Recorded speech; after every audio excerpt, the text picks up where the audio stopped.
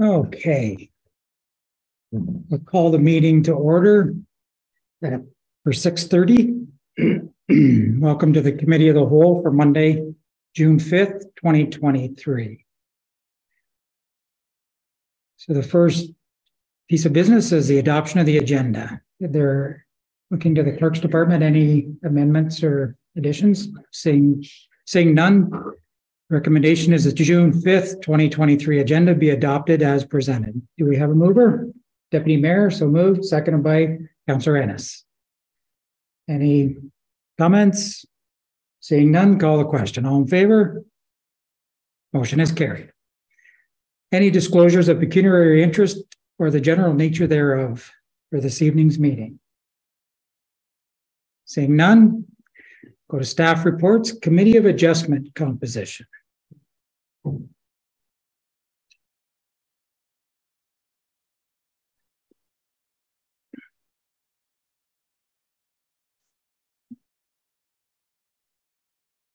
Welcome.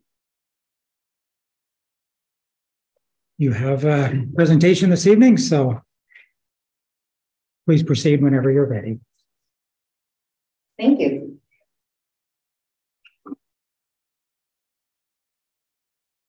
Okay, um, so the purpose this evening, um, we've developed multiple options for the future composition of the Committee of Adjustment um, for consideration by the committee. Um, this was previously discussed at the Committee of, of the Whole back in 2020. Um, so throughout this, we considered some comments that were made at that time and also to bring forward this again in, in front of us. We're in the um, council now as well, and we're just going to be seeking direction on, on the preferred approach. So just to provide some background, in 2020, the Committee of the Whole provided comments pertaining to the composition of the Committee of Adjustment and asked staff to consider these comments and to conduct some further research. Um, I'll outline those comments shortly. Um, the Committee of Adjustment is currently, as you know, made up all of Council, um, and that uh, current Committee of Appointment um, does expire in December 2023. Um, the, uh, the terms of the committee is outlined um, under the Planning Act. Um, the committee must contain a minimum of three members. Um, public members can be appointed for the term of council and council members can be appointed annually. Um, so planning on getting get into that. Um, but the general composition makeup is is is flexible and not dictated by the planning. So um, we have brought forward some options, um, and then we're just seeking uh, some direction. But um, we want to highlight that if public members um, are being considered to be included on the committee, um, we, would, we would be looking for a decision on that, um, preferably this summer, so that we would have sufficient time in order to advertise and provide training and so on to help them in this for um, next year. So to provide them a bit of background, what um, the, the four, there's four main options that we've kind of considered. Um, the full, um, the first one being a full public membership, um, which can consist up to seven members of the public appointed by bylaw for the term of council. Um, and so it's noted, um, though, that the procedural bylaw right now does speak to seven members. Um, however, the procedural bylaw could be amended to include um, less than seven members if that was the preference, um, as long as the minimum is still set at three. Um, some advantages of full public membership, um, it allows us to um, provide some useful citizen skill sets to bring into the committee um, and their expertise can be leveraged, um, provides a broader perspective of community values and involvement, um, and can be a slightly reduced workload on council members having to partake in one less committee. Um, some of the disadvantages can be, um, you know, we can't predict the amount of interest um, that will come forward when we advertise or whether those that are applying are going to meet the established criteria. So um, that's always un unknown until we start. Um, and from what I understand in the past, there when it was a previous public committee, sometimes there were issues getting um, qualified applicants.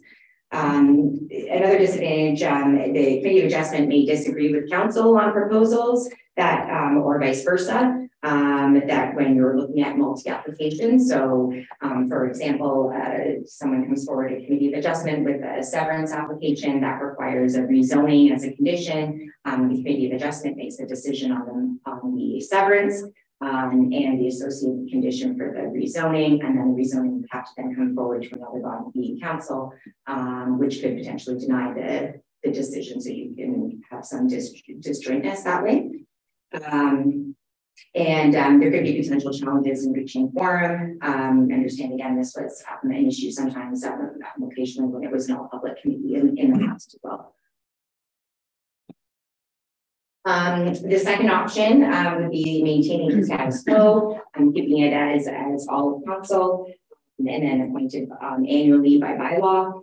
Um, so the advantages of this um, committee decisions align with the council decisions when you're dealing with multi-factor um, proposals. Um, quorums typically not a challenge.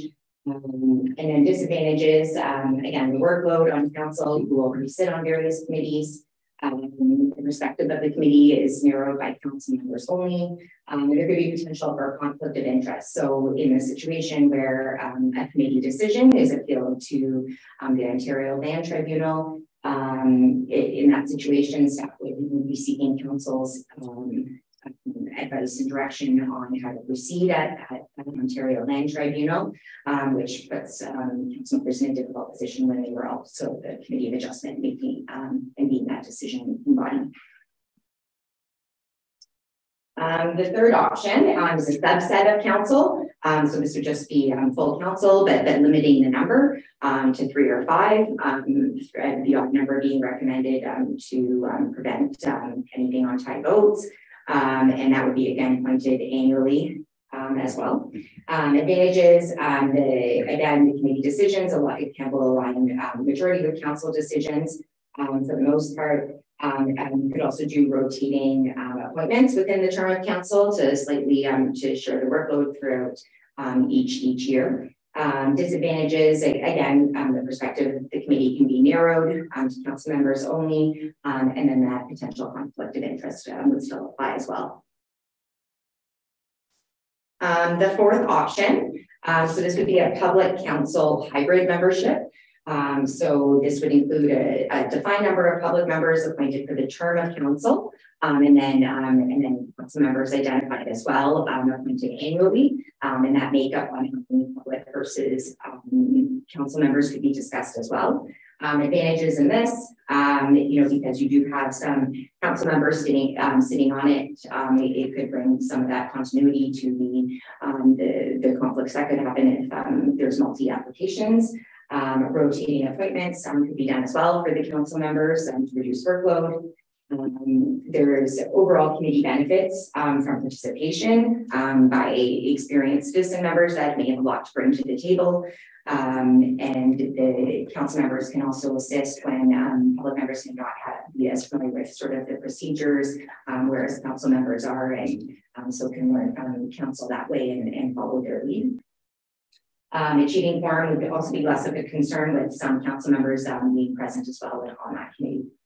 Um, disadvantages, uh, again, when um, appealing up to the public, we don't have the level of interest at this point that, that we would get in the qualifications. Um, and then similar to before, the council members that would sit on it um, would still be in an awkward situation if anything was appealed. Um, and then we have to uh, seek direction from council afterwards.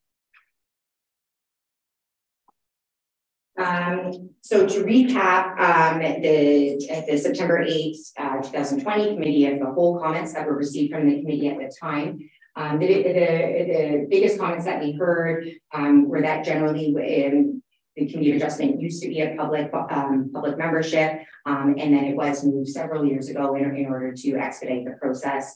Um, primarily, we have committee of adjustment and then council the same night um, getting that continuity um, where you, you, as someone with a double application, that both their severance and their zoning bylaw amendment approved on the same night.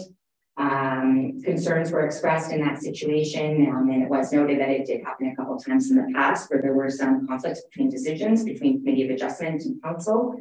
Um, the committee also provided um, comments about um, having council members um, provides a level of comfort in terms of consistency since council is the one that's making the decisions on the zoning bylaw or subsequently the zoning bylaw review that we're going to be undertaking soon. Um, and then, you know, people coming in from community of adjustment to get relief um, and, and minor variances from those provisions that council set up.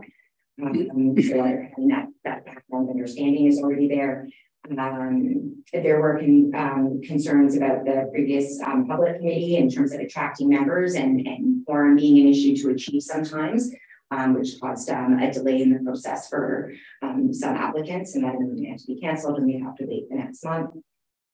There were quite a few comments in terms of the hybrid option um, and how it would allow for bringing in eligible residents while at the same time having a better chance of achieving a quorum um, and the hybrid process allowing for a transparent process um, by having both um, elected council members on it as well as um, appointing um, general members of the public. Um, overall, staff can staff can work on, on any model um, selected. Um, however, based on previous maybe the whole comments, it, it did from a staff perspective that the hybrid model would probably be the best approach in terms of addressing the previous previous comments that um, that were made by the committee. Um, but granted that that was through the last term of council, so maybe some other perspectives this evening that um, we need to consider as well. Um, the other the other piece um, is this that we're looking for tonight as well is um, if if um, public appointments are, are a preferred option, whether it's through the hybrid or a full public um, committee. Um, we're looking at some selection criteria as well um, to be considered. Um, so when that was forwarded to council and is approved, then um, we can, you know, we have the criteria to, to go out and start um, advertising. so we can generally draw from the citizen appointment policy, which is in our procedural bylaw. Um, you know, which is the general requirements of being a township resident and um, being uh, greater than 18 years of age um, having complementary skills or um, identifying areas of specialization. Um, and then there's the, the, potential conflict of interest that um, you know that that we're always able to assess in um, in applications as well, and whether it should um, preclude them from being appointed. Um, some additional criteria that that we've identified.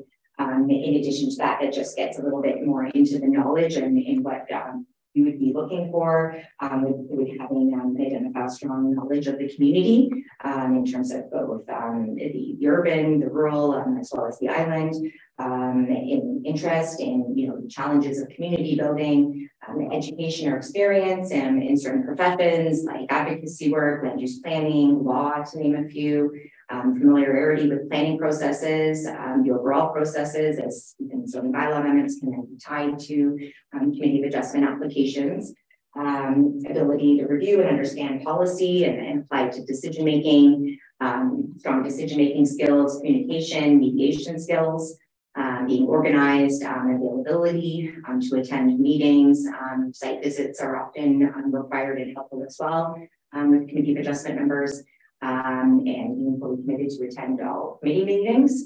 Um, and, and trying to obtain a, a representative distribution um, around the township. So, um, you know, both um, ge geographically, um, primarily considering, and to have experience in demonstrating on other township, municipal, community boards or, or committees and having some of that experience in the past um, were some additional ones as well. Um, so these were some of the ones that we were um, recommending that would be considered with that with a public approach, um, but obviously open to hearing some additional um, criteria as well um, to be considered too.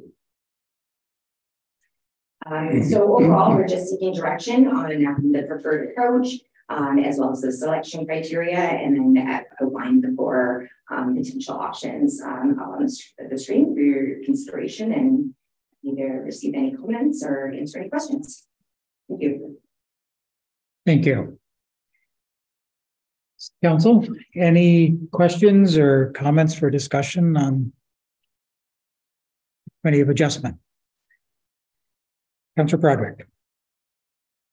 Thank you, Your Worship. Um, just to clarify for me, so it sounds like any of these options with counselors on it, there's a potential of a conflict of interest no matter what the option is. And um, I guess it's a balance because from my point of view, I also understand, and correct me if I'm wrong, that this decision is final, that it doesn't go to council. Committee of adjustment can only be appealed by the OLT or, or, or OLT. Yeah. Yes, that's that's. It's an independent body that has the final decision making. Yeah. So in effect, if we chose an option A, there would be no elected official making that decision. Okay. And personally, I, I think there should be a number of elected officials on any of these committees. Because that's, in my judgment, why we're elected and, um.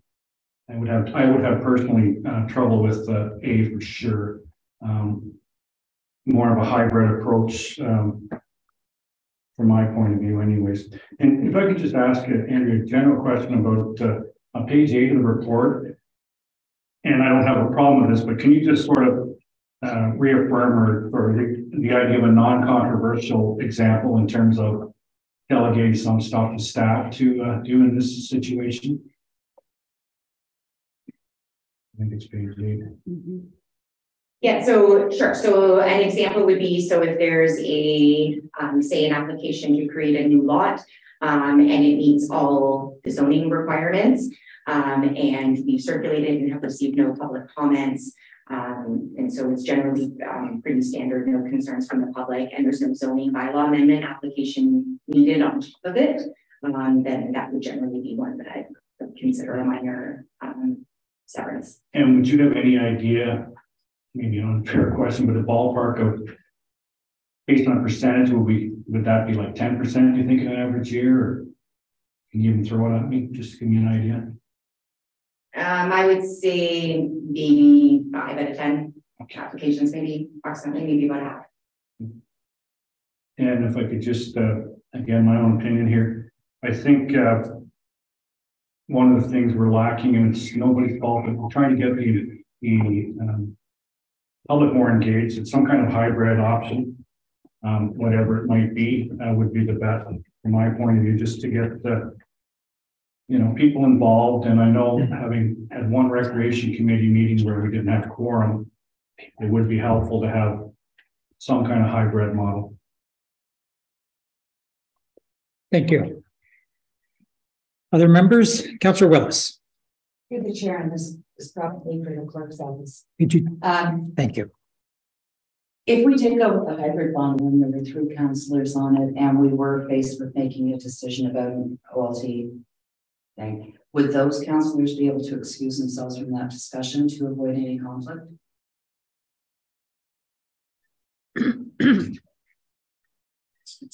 So basically, if you're in the committee, you're not acting as counsel.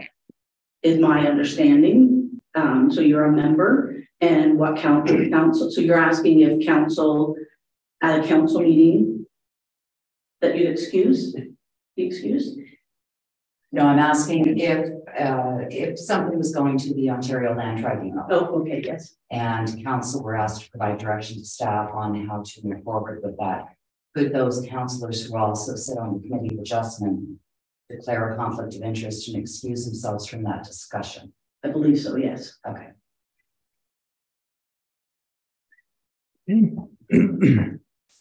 Other members of council, Councillor Ennis. Thank you, and through the chair. Um, I think a number of the items that have come forward to the committee of adjustment so far this term seem to have been fairly uh, straightforward. Um, so just wondering if you could give me a sense of, um, in the past, um, what are some of the not so straightforward types of applications that, that come forward to the committee? Yeah, I would, I would say, um, you know, not straightforward ones that can get more complicated are with the applications that don't meet like official plan criteria, and so staff can't support it, applicant proceeding anyways. So those going forward um, to committee of adjustment with uh, a recommendation from staff to deny the application. Um, public input um, being a, a huge one. Um, we, we haven't had a lot of stuff recently, but there have been, you know, a significant number of files in the past um, you know, particularly for rural severances and concerns about neighboring wells drying up and, um, you know, surrounding landowners being opposition in opposition to those severances. Um, same with minor variances where neighbors feel that um, there could be an impact on their on their property if it's a next door neighbor. So some of those ones that um, come in come into light um, can can create more, yeah, controversy and um, get more complicated and, and require more discussion for sure. Thank you. Anyone else have any questions or comments for discussion? Seeing none, I have a couple questions myself. Um, the one that's been mentioned a few times is, uh, um, in the past, there was, an incident where zoning came to council and, uh, the committee hadn't approved the severance. I'm, I'm a little, I'm trying to understand how that would happen because normally the zoning, the rezoning would be a condition of the severance. So until the severance was approved with conditions such as zoning, am I, am I looking at the wrong situation here? Like how would the zoning even come forward if the severance wasn't approved with conditions? Yeah, I generally anticipate it to be the, the opposite of that, where the separate, where the committee of adjustment is approving something with a condition. And then it proceeds to council Okay, for the zoning bylaw amendment that that is that condition. So you have a different body making a decision on a condition that was, you know, recommended to be approved by another body. okay. Um, okay, I see where that could in potentially be, but I, I think it would be extremely rare, but it is a potential. Okay. Um, if I remember correctly, and I'm not sure, I guess nobody else was on council when it used to be full um, public. Um, the committee of adjustment minutes used to come to council and I, I used to think that we received and endorsed them, but maybe we just received them because if they're their own body, governing body, then we must have just received them from for, for information. Is that the way it would go in the future? Yeah. Okay. That's, that's my poor memory. um,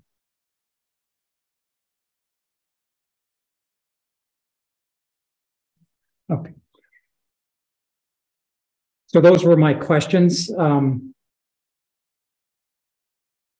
I guess, uh, is there any other members that have questions or comments?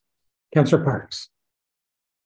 Thank you. Um, through the chair, just a question on the hybrid model. You're, you're talking about a possibility of reducing the whole hybrid model to five people or, excuse me, or leaving it at seven, but only five would re- be required to attend the meeting to actually hold the meeting. I'm just uh, not clear on that. Um, so it could, it could be, and as long as there's at least three members, it could be any composition that council wishes. So generally, we have seven members is in the current procedural bylaw. Um, so if you're discussing potentially three members, then we could have four um, public members, and that, but you would only need, so if that was the makeup, four and three, um, which would be, which would be sufficient. Um, then during the actual committee of adjustment meeting, we would need at least three of those um, to be in attendance in order to obtain quorum. Thank you. Four. Four, four, yes. Four, sorry, sorry, yeah, four. Yeah, yeah. Any other, sorry. Any other questions or comments from council? I'm, go ahead, Councillor Quadrick.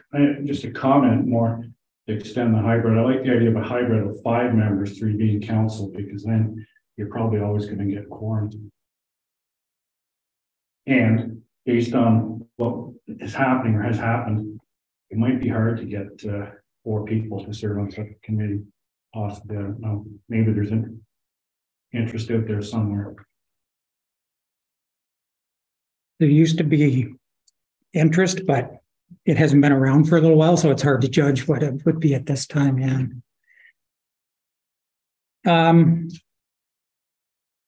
Okay, so do we, if there's no other comments, Deputy Mayor? Uh, For you, uh, your worship, I would move to, uh, receive the report and presentation. And direct staff to implement option B. And for that to include seven members, three of council, five of the public. And include the selection criteria described in the report. Three and four. Right. You said three. Okay, just Yes. clarifying. Thank you. Yes. And, okay. And you spoke to number two as well? And the selection that's in here? Okay, sorry, I was, I was doing the math in my head and I didn't hear that last part. Yeah. So moved. Do we have a seconder? Counselor Broderick. Mover, any comments? Um, I, I mean, I've, um, I was obviously part of that, um, committee of the whole discussion back in twenty twenty. Uh, I've been a supporter of the hybrid model. I think, uh, I am, um, I'm, I'm against full council membership simply because I think it politicizes the process of committee of adjustment, which is a quasi judicial body under the planning act.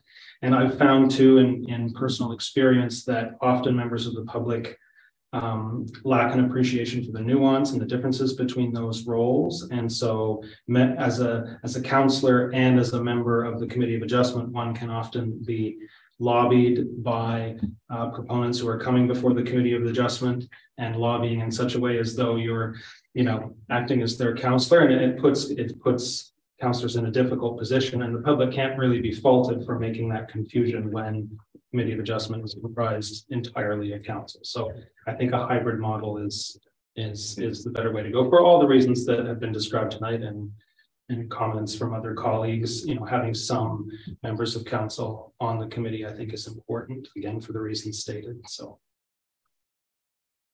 Thank you. Seconder, no comments? Anyone else have comments? Can Counselor I, Broderick. can I just ask for clarification? You're looking at option, you said option B, is it option four? Option two. Oh, I see, okay. So option B and number one. So the hybrid model. I must, I must be missing. Oh, on that, okay, on that, all right. Okay, On the agenda, on the agenda. Yeah, I was looking at In the the report, in the report, it's numbered, that's right. Okay. Okay. Any other comments? Counselor Willis. Through the chair, um, are we also including the delegated authority as recommended? Uh, at the bottom of the report, it was mentioning the delegated. There's already been some delegated authority and a report, uh, will be forthcoming with the impacts of Bill one oh nine. Is that correct? So we're not actually voting on delegating here. Okay, thank you. Any other questions or comments? Sorry, Director? I might be out of order here, but um also if we're picking, could we get um. Maybe confirmation that the selection criteria is adequate? If we're picking I have, I have that in the motion. I did refer to that in the motion. I, if I may repeat Yes. the wording. So in the motion, I have read that the selection criteria described in the report. Counselor Broderick? one, one last clarification, sorry. Uh, could be up to seven members, and if we don't have seven members. That's fine, as long as there's three. Well, well, sorry, uh, so if you're going to go with seven members, then you would be on the quorum of the meeting for a, for a decision. I believe three under the act is, is what's required, but I think we would have to look at the.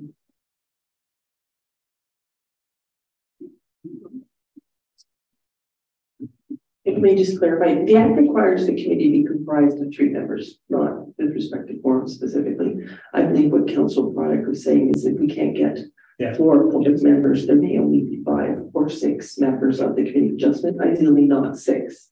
And we would do our best to try to get the full seven. Um, and then you will require, um, majority for quorum. So whether or not the committee, um, if we can get seven or not, that's what the procedural bylaw will say with respect to this, up to seven. Ideally, it will be seven and we don't really want six, but in which case you would still need four for quorum. Um, in that case, I believe that was the question. Yeah. Cute. Good. Counselor Willis? Sorry, just for clarification, um, so page seven of ten of the report, at the very top, it says. Where a committee is composed of three members, two members constitute quorum. And where a committee is composed of more than three members, three members constitute quorum. So does that mean if it's a seven-member committee, three members constitute quorum?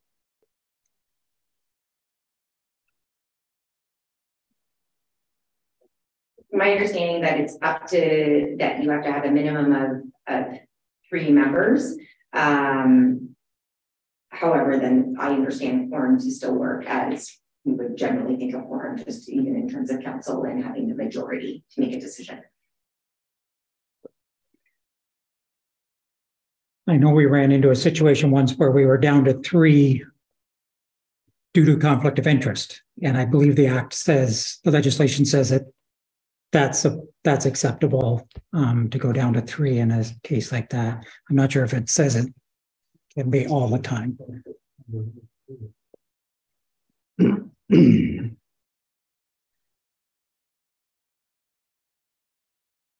So with while they're looking for that, is there any other questions or comments?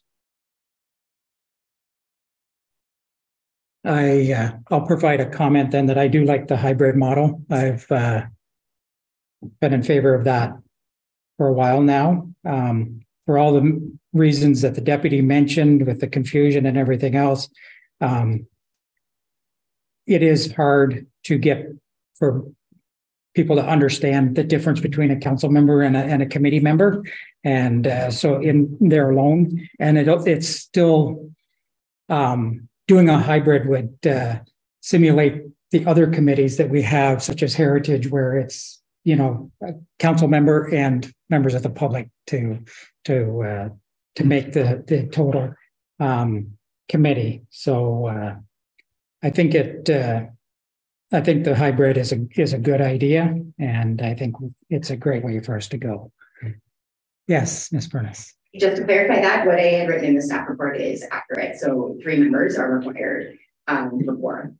So even if you have the seven, the Planning Act does provide that exemption where where three would still cost constitute quorum. So it would assist as noted. Yeah. Okay. Thank you. Any other questions or comments? Seeing none, I'll call the question. All in favor of the motion? Motion is carried. Review of framework for committees of council. Thank you.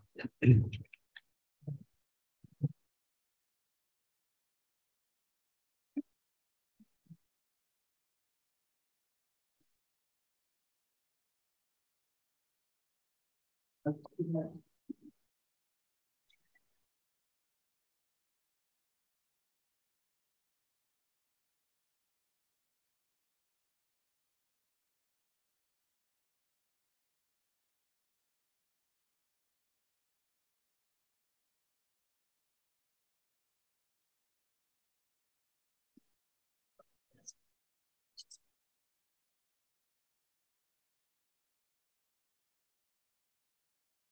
So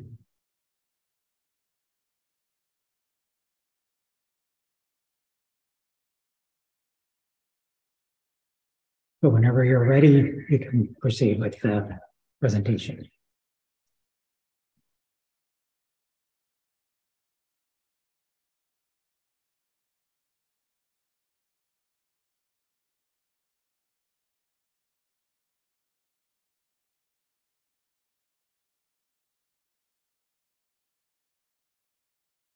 Evening. Uh, so the purpose of the next report is to fulfill council's request to review the current committees of council. Uh, first, we will be going over the attached committee framework, um, followed by discussion on these. So as discussed or has mentioned in this report and previous reports, there are some inconsistencies with current policies and procedures as they relate to committees. Frame, this framework would form part of the committee policy currently within the procedural bylaw, which will be later discussed at this meeting. The goal is to have a consistent approach to committees and to centralize the policies and procedures for committees. The proposed framework would streamline the administration of committees of council and would allow for a more open and transparent governance of committees. Um, so I've provided um, members tonight with the committee framework that's attached to the report. Um, so I, I thought we would go through each section of the framework. So first being uh, committees. So these would be advisories, advisory committees of council. Um, so if we want, we can go, if uh, committee has any questions about any of the requirements that we put in there, we can go line for line or um, whatever you guys prefer. Discussion. Any preference? We'll go through line by line then. Okay, sounds good. Um, so within the framework. For committees. Um, we've broken it down to various sections. So first up uh, is the link to the township. So an advisory group working to make recommendations to council on policies applicable to a specific function. The membership would be appointed by council following an application process. Um, so current committees that follow this process is the Heritage Committee, the Recreation Committee, the Renewable Energy Committee. The chair would be a member of council. Uh, staff involvement. Um, so staff are not responsible for the committee. Um, however, they are support. Staff within the clerk's division would um, work as the committee support, as coordinating administrative, sorry, administrative support and recording decisions. So publishing agendas, minutes, etc. Uh, and then operating division staff has a resource for technical information related to the committee function. So for example, within the Heritage Committee, it's the, the Heritage Assistant and um, Recreation staff uh, assist with the Recreation Committee. Um, terms of reference are developed and adopted by council. This includes their mandate, object objectives, membership, makeup length, and appointment of members. The meetings must comply with open meeting provisions under the Municipal Act and the Township's procedural bylaw. As mentioned, agendas and minutes, they are drafted and published through um, Township resources, so through Civic, Civic Web. Uh, Decision-making process, uh, the committee would make recommendations to council for their consideration and adoption. Uh, finances, the budget would flow through the township. Um, so there are some committees that currently have an operating budget. And then there's current committees that do fundraising, which comes into the townships. Uh, code of conduct and policies. Um, so there is a committee code of conduct applies uh, and members are not paid. Uh, and then insurance is covered under the township liability policy. So that would be kind of the framework for committees of council. Uh, next in the framework is a working group. So Link to the Township is a group of volunteers working with township staff to further township business. The membership is recruited by staff in accordance with the volunteer management policy. The chair is a staff member. There would be no council member on the committee. Uh, staff involvement, team of volunteers work with the township staff to accomplish tasks related to a specific function, project, or event. Uh, there would be no terms of reference as it's not a committee of council. Meetings, um, these are not these are not defined as meetings under the Municipal Act. Uh, so there would be no requirement to publish these publicly through the township's resources. Uh, decision making, so this would be a collaborative approach in line with township procedures and guidelines. There would be no use of township budget or these working groups. Uh, for the code of conduct, volunteer policy and code of conduct applies to working groups. Volunteer members, um, but members are not paid. And then the insurance could flow through the township liability policy. So next in the framework being presented is the incorporated nonprofit organization. Uh, so this group is its own entity um, with no direct affiliation with the township. Uh, membership, again, no township involvement, so we don't set the membership for the, for the organization. They would select their own share. For staff involvement, staff may work in partnership with the nonprofit to support the group's initiatives and or provide mutually beneficial services or programs to users. This would generally be accomplished through an MOU that outlines commitments of all groups in the township. Uh, there would be no terms of reference set by the township, uh, no meetings set by the township, and no uh, agendas and minutes published. Decision making uh, would be no township involvement. Again, this would be the organization, and the organization would have their own um, finances. There would be no budget for it for the organization. Um, again, code of conduct, they would have, they would have their own code of conduct and policies. They would fall under the townships. And then for insurance, um, this wouldn't be covered by the township. Um, their requirement would be for the nonprofit to its own liability insurance. So, with that kind of overview, I'll leave that open for questions, comments, discussion. Okay. Any questions or comments or discussion on the matrix? Seeing none. So I just going to clarify one point. Um, for public agendas and minutes, um, the committee is the only one that would be providing the pub to the public. The others would just be an internal within the working groups or the the uh, non nonprofit organization. Uh, that's correct. Um, they could publish their own minutes through their own website or make them available to the public if they wish. Okay, thank you. Councillor Broderick. Uh, through your worship, just there. Um, jam back to you. So the dog park, that was, was that a committee or was that a working group? Uh, through the chair, that would have been an ad hoc committee of council. Terms of reference were established by council um, as well as membership. And there was an application process. Um, and I think, and I talked to the mayor, I think once about this before, um, just the idea of the ad hoc committees. It'd be great to, if we could stay away from that simply because usually, and I think this would bear it in the past, that you're establishing a committee of those for and those against, like it's really hard to have a neutral party, I think sometimes, and I just think that might be something more of a volunteer working group in that general sense. You know, it's never going to be hundred percent one way or the other. But um, just on the committees, and I know what's in there in terms of compensation, is do you think that might be something that might encourage more people? I know we're not looking at thousands of dollars, but just some kind of remuneration, like recreation committee, maybe they get a pool pass for the years or something that, you know, might encourage people to get a little more involved because I know that's seems to be an issue not only in government, but in local um, nonprofits too. Uh, through the chair, um, council could uh, put that in the budget line if they wish. Um, one of the inconsistencies with the council or the committees right now is there are some committees that are receiving remuneration um, for attending committee meetings, and then there are other committees that aren't receiving remuneration.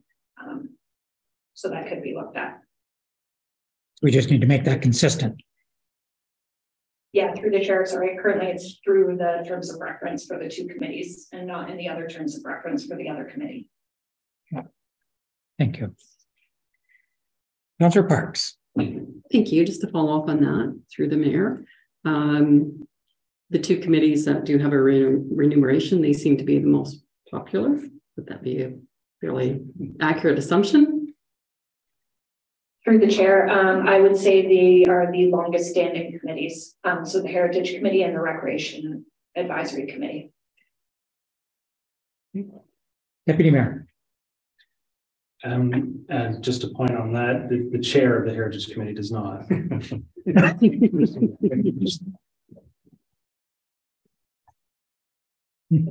Thank you.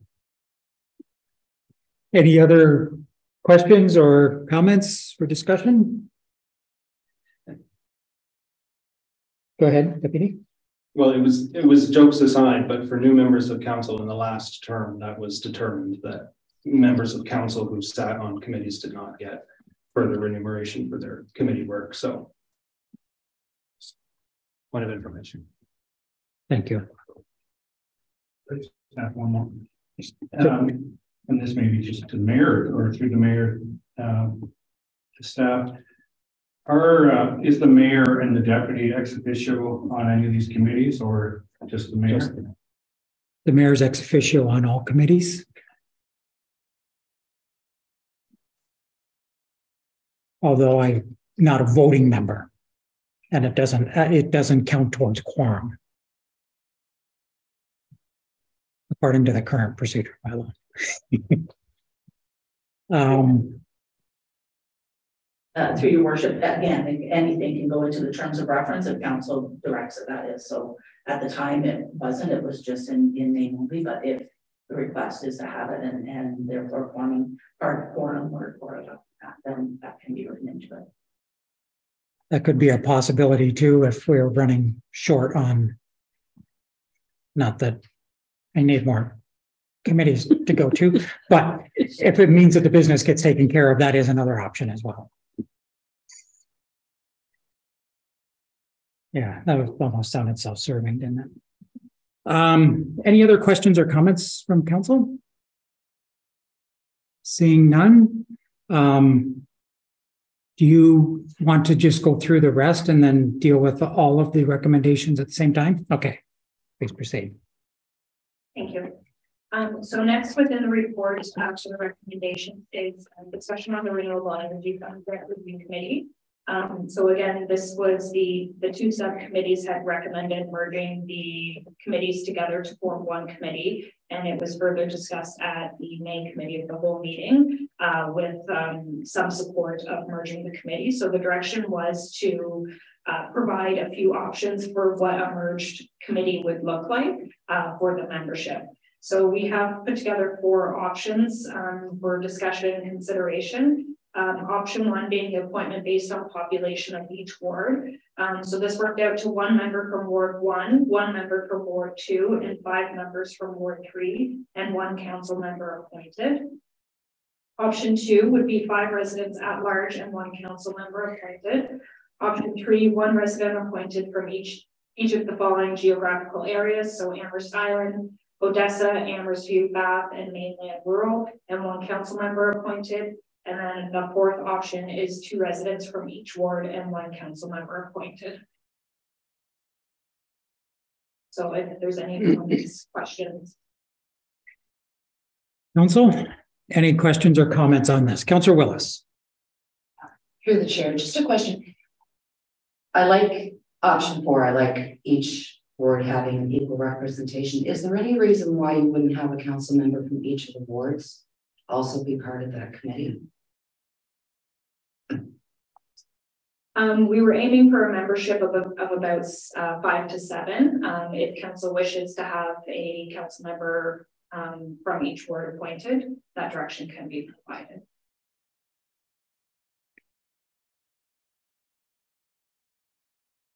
Councillor Ennis. Thank you, Thank you, the chair. Um, to, just to clarify, we're talking about here the committee membership. We're not contemplating uh, any changes to the the policy uh, or the pools of funds, 25% to Ward one, the 75% Ward two and three. So it's just that remains the same. And this one committee's job is to review um, the application that may come in under the Ward one stream, or they may come in there, come in under 75% of the Ward two, three stream.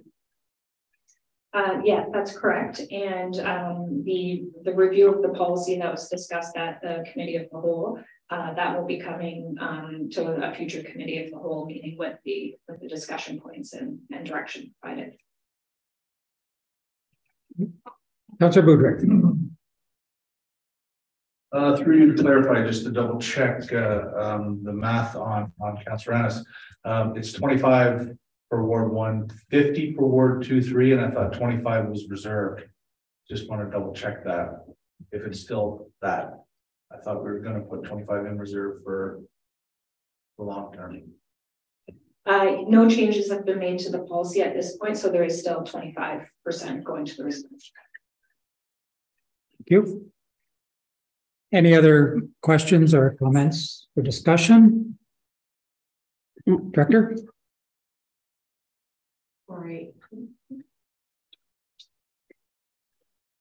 Sorry, I just want to clarify, I just want to make sure we're all on the same page with respect to. So the policy is 25% to reserve with 60% to the fund and 15% to the, sorry, uh, 60% to the uh, renewable energy fund and 15% to the grant. And then of the, of, of those, of the portion to the fund, that's where the split happens between the wards. I just wanted to make sure we were all on the same page. Okay. Any other questions or comments on this item? Seeing none, please proceed.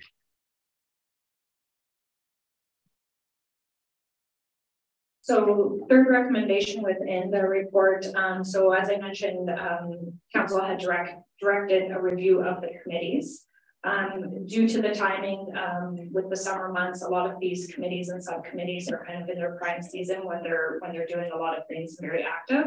Um, so we're, we're recommending that the, um, review of the, re- the remaining committees be completed after this strategic plan review. So the committees would be the Heritage Committee, the Recreation and Service Advisory Committee, the Amherst Island Recreation Subcommittee, the Bath Canada Day Subcommittee, the Bath Museum Subcommittee, and the Mayor's Economic Development Committee would be reviewed at a later date. Thank you. And that would be in time for the fall call for memberships, right? Okay, That's correct. you. Counselor Willis. Through the chair. So those committees that were on that list will continue to operate as committees as identified here and will be covered under township insurance. Uh, they'll operate status quo has, how, as they've been operating in previous years. As committees, yeah, thank you. Any other questions, comments? Counselor Broderick. Um, just a, just a question in general, is there such a thing as a uh, cemetery board in the township anymore? No, there was um the membership, we couldn't maintain membership, so we had to uh disband it. So is, is any of that s- stuff covered by staff, like? Yes, How it works? it's it's uh covered by um staff and they bring, they set the budget as well, bring the budget to council for for approvals each year. Any other questions or comments? Seeing none. Okay, thank you. So council, we have, Um, Oh. sorry, there's one more recommendation. please proceed. Okay, thank you. Um, so the, the last point in the report that we're looking for direction on is the establish, the establishment of, of an appeals committee. Um, so under the, um, building code and the property standards bylaw, uh, the council is required to set a appeals committee for property standards. Um, so currently this has been on a ad hoc basis where council has, um, stood as the committee. Uh, so we're looking for direction and one of the recommendations that we are recommending is that, uh, the membership is part of the committee of adjustment. Um, so if there's any comments or questions on what that would look like. Thank you. Any questions or comments on this? Counselor Broderick. Uh, through your worship, so an appeals committee would. They would be basically between the committee appeal and then could it still go to council? Because these are just uh. Uh, committees that make recommendations. Uh, through the chair, this would be a quasi judicial committee, so it would, it wouldn't go to council.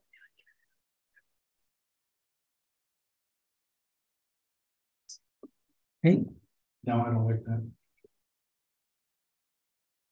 Did you want, just for Yeah. clarification, so an order would be placed through, uh, say, the building department, uh, in regards to a property Oh. standard? Okay, And then if, if, once they've got the order, they could appeal that if they didn't agree with the order. And that would come to the appeals committee to deal with the order. I think I totally misunderstood. So that's just for the building. I thought we were talking about all communities. No, no, it's Okay, it's sorry. anything that My has to mistake, enforce okay. uh, an action. Yeah. Okay. anything, anything that is enforcement deals with, when it, if someone wants to appeal it, there's a committee that they can go to and it's already established. Yeah, it could be animal control, um, uh, it, um, muzzling orders, those types of things. So anything where an order's been placed. Okay, that just didn't fit with what we were talking about. They're all. I'll put my muzzle on. Any other questions or comments, discussion? Seeing none. That was the last one. I'm learning. I asked the question. Thank you. So council, we have recommendation with a few options in front of us. Um, do we? I guess one of them is, we can just go for a motion or we can talk about each one of them and, and establish a, an understanding. Want to do it that way? Go through each one? Okay, so one is just receiving it. Number two is the membership, committee membership for uh, the subcommittee. We have four options. Any comments on that discussion? Counselor Broderick? Uh, through you, um, uh, I like Councillor Willis's idea of, uh, two residents from each ward. Uh, which option for, for the renewable, uh, energy one, except making the amendment of having a, a counselor or a council member from each ward, uh, appointed as well. If, if that we could amend basically for that, for option four. For the renewable energy, uh, one, Okay, so that would make a total membership of nine then? yes, it would, Okay, if, if that's acceptable, but I just, What? yeah. Equal representation, all. yep, okay, sounds good. Any other discussion on that or comments? Say none? It Looks like that's gonna be mostly acceptable then, if no one's questioning it. Um. And number three, remaining committees of council being um status quo until after the strategic plan. Any discussion or comments on that? Counselor Broderick. Um, general thing, it seems, uh, a lot of things seem to sit on the strategic plan. I'm just wondering when that beast is gonna be attacked or presented. Are we looking at a year? Are we looking at months, weeks, um, more than once in the first year, we can't do anything till, we wanna, we wanna put it back to the strategic plans in place. And I just wonder where that is time wise, whoever can answer that. This, leave it to the CAO. Further to the staff report, for the city council, at the beginning of the pre-consultation about where we're at, like what our, um, uh, comments from the public and staff regarding the existing plan will start in August, and then it will come to council for the first session, uh, in September.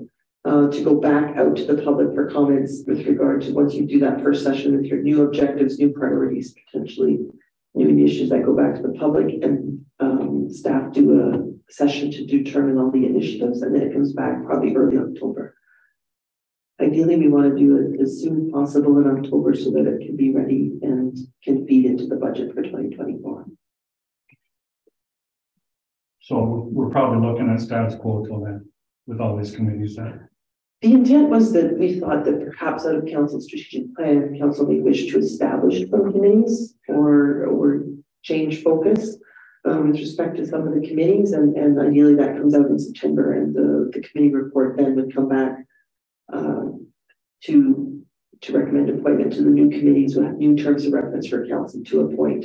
And then maybe looking at advertising for the public for the ones that the council wishes to be committees of council and then we can appoint to the fall. Okay. Any other questions or comments? Seeing none. Well, we have a recommendation before us. Point of Um, order. pardon me? Point of order, Yes, number four again. okay, The appeals committee. Okay. I mean, it's, it's obvious. It's, but it, it's okay. Yeah, I was thinking that would be a minor one, but I better not assume anything.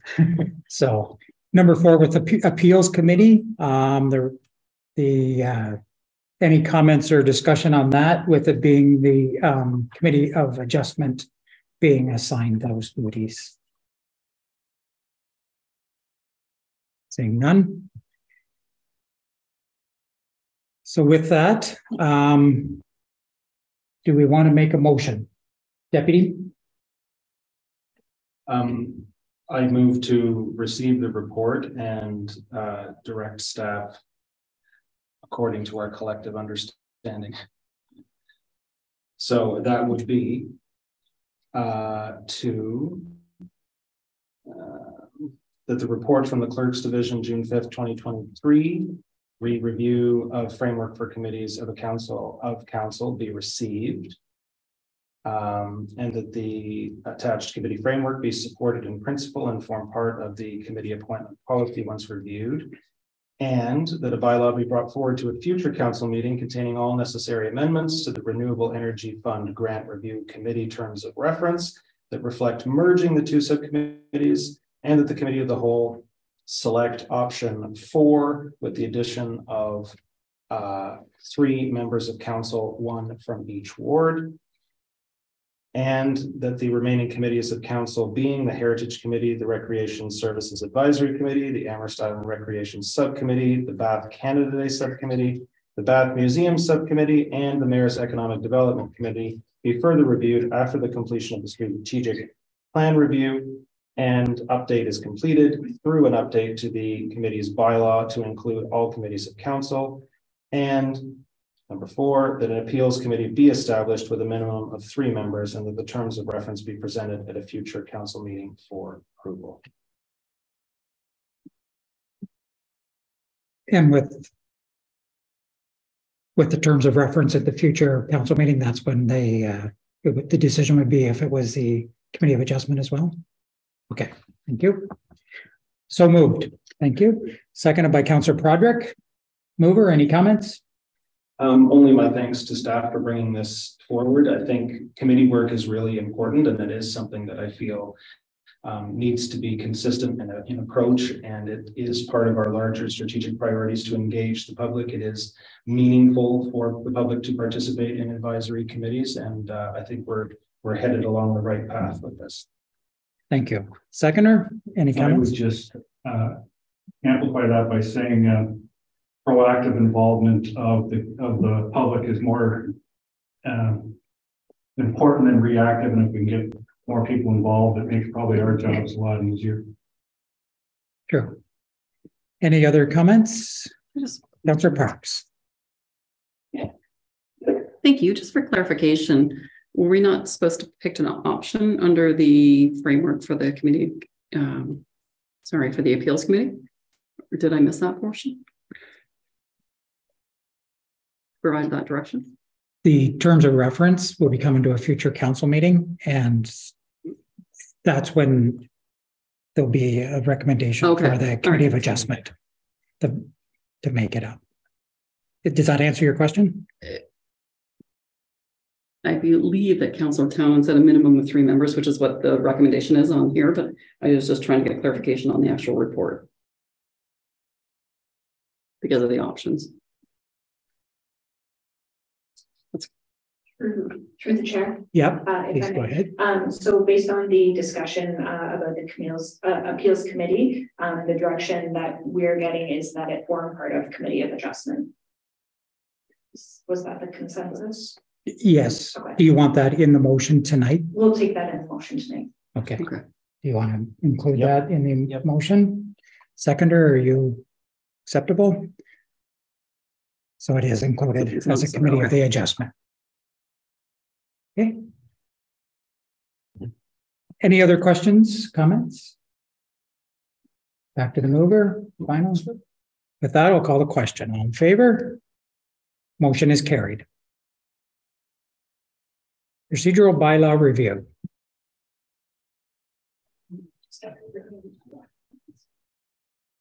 Thank you, and up here. Um, so the procedural bylaw, uh, that's coming in is, is we're presenting it with, uh, through, through the PowerPoint and with the understanding that there will be some streamlining of the procedure bylaw. Uh, we'll go through that, so the, um, we'll go through each of the slides, and then there is a section at the end, should we have missed something that any member of council wanted, uh, to discuss and, and we didn't highlighted in here, there's that opportunity. And then the idea will be uh, that the draft bylaw that comes will, uh, to be presented to council, will incorporate the discussion that we've had uh, tonight, that you had, that we've got direction on. So. I'm just gonna So just, just to clarify, Yes. um, you're looking for all, all comments so that you can compile them and come back with a report later. And it's not necessarily we're coming to a decision tonight on Yes, any. Worship, that's. that's Thank you.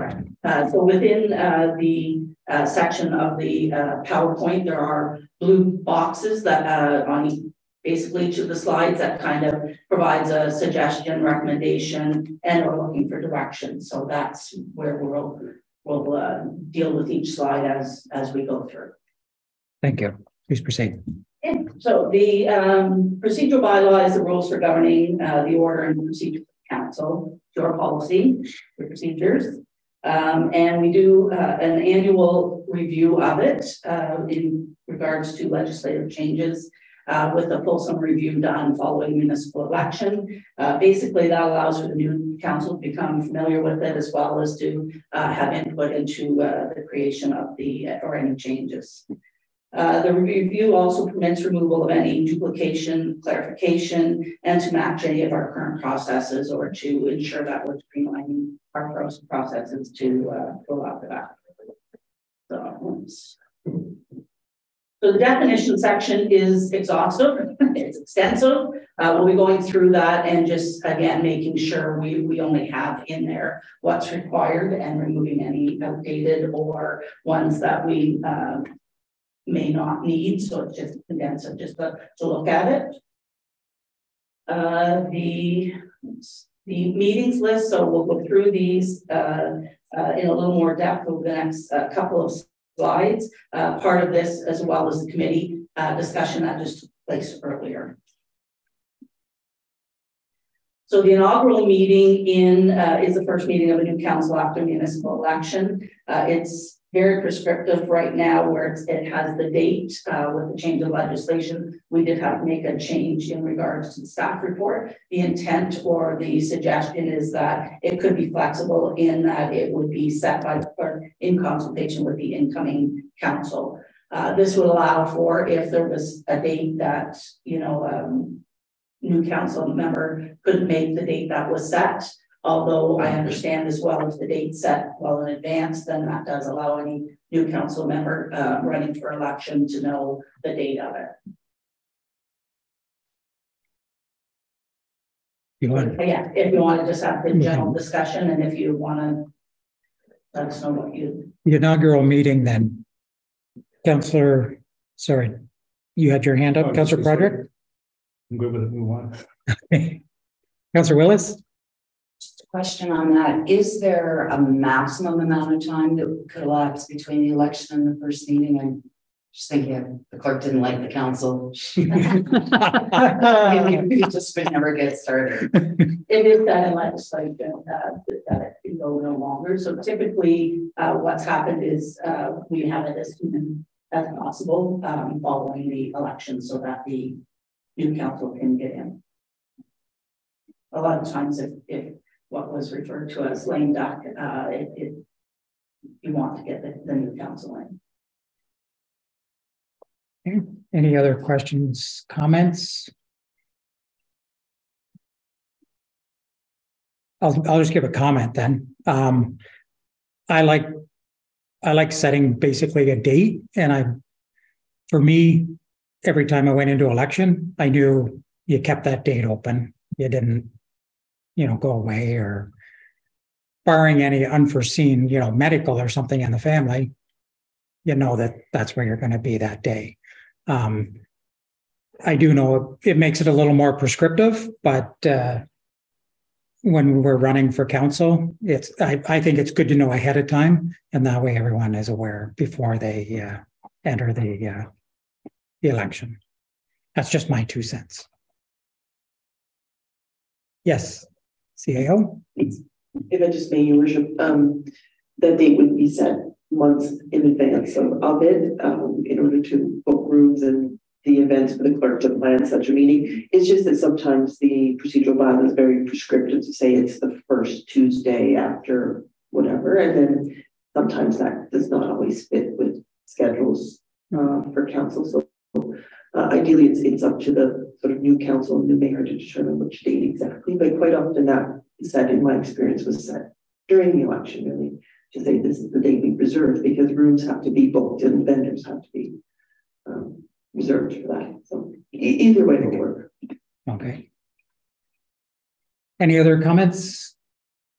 Seeing none? Uh, next one is council, uh, so that is, um, confirmed, uh, with the day and time of the second and fourth Monday of each month, commencing at seven P M.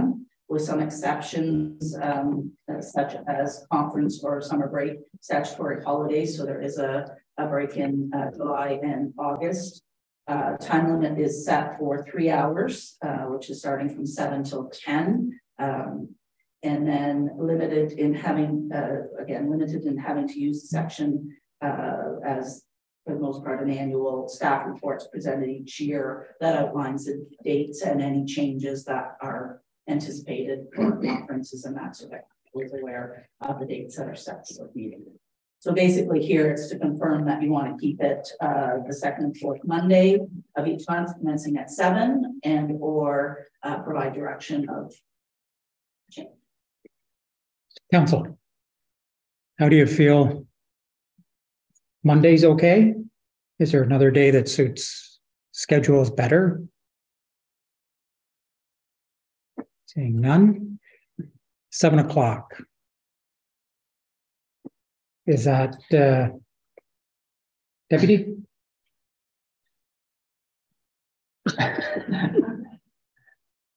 I, I may be, I may be putting the CAO on the spot, but I believe the CAO had some, some differing feedback based on her survey of council. Okay, Councillor Booter? Uh, same conversation as the deputy with the, the CAO regarding the survey about there was interest in other days from members of council. Okay. What, I know, I know I put in Tuesday. Tuesday? I'll throw that out there right now. I know I put in Tuesday, okay, but yeah. I'm not sure where anyone else was at because that was their survey. others? How do you feel Tuesday, Monday, any other day? Councillor Pratt? Um, I think I had the same conversation with somebody, and given there's lots of holiday Mondays, et cetera, and it, it would give you an extra day as a counselor to prepare for a meeting rather than a weekend. Uh, Tuesday seemed to be a, a reasonable uh, day, and I don't think it conflicts with any council, or county, or conservation authority, any external agencies. I don't know. Uh, just- I'd be in support of Tuesday too. Okay. County council's on Wednesday, um, so it doesn't conflict with that unless according to the procedural bylaw, if there's any items left over from an agenda and we, we, uh, adjourn for the evening, it's to be finished the next night. So we would have to look at that because the mayor and deputy mayor would be at county council on potentially if they line up the same week. As well, your worship, uh, if there happened to be, say, July first, well, I guess it wouldn't be on that, not be early on that, never mind. I was just gonna say, if it happened that there was a statutory holiday that fell on the second or fourth Tuesday of the month, then it would go to the Wednesday, which we would have to look at changing. It can be done, Yeah. just another, it would be another item just to address. Yeah. Counselor Willis? If that were the case, could it not go back to the Monday? Which is not a holiday? Okay. Counselor Ennis? Thank you, through the chair. If we were to move it, the meetings to Tuesday, would we still receive meeting materials Thursday? And is that the when of when we get the meeting materials? Is that um stated in the in the bylaw? Through your worship, yes, it is outlined in the bylaw of, uh, I believe it's two business days, uh, prior to the agenda, but again, that time frame can change. Um. it's up to council. So not to put you on the spot, but are you thinking that an extra day to be able to prepare would be advantageous? Keep it on Thursday?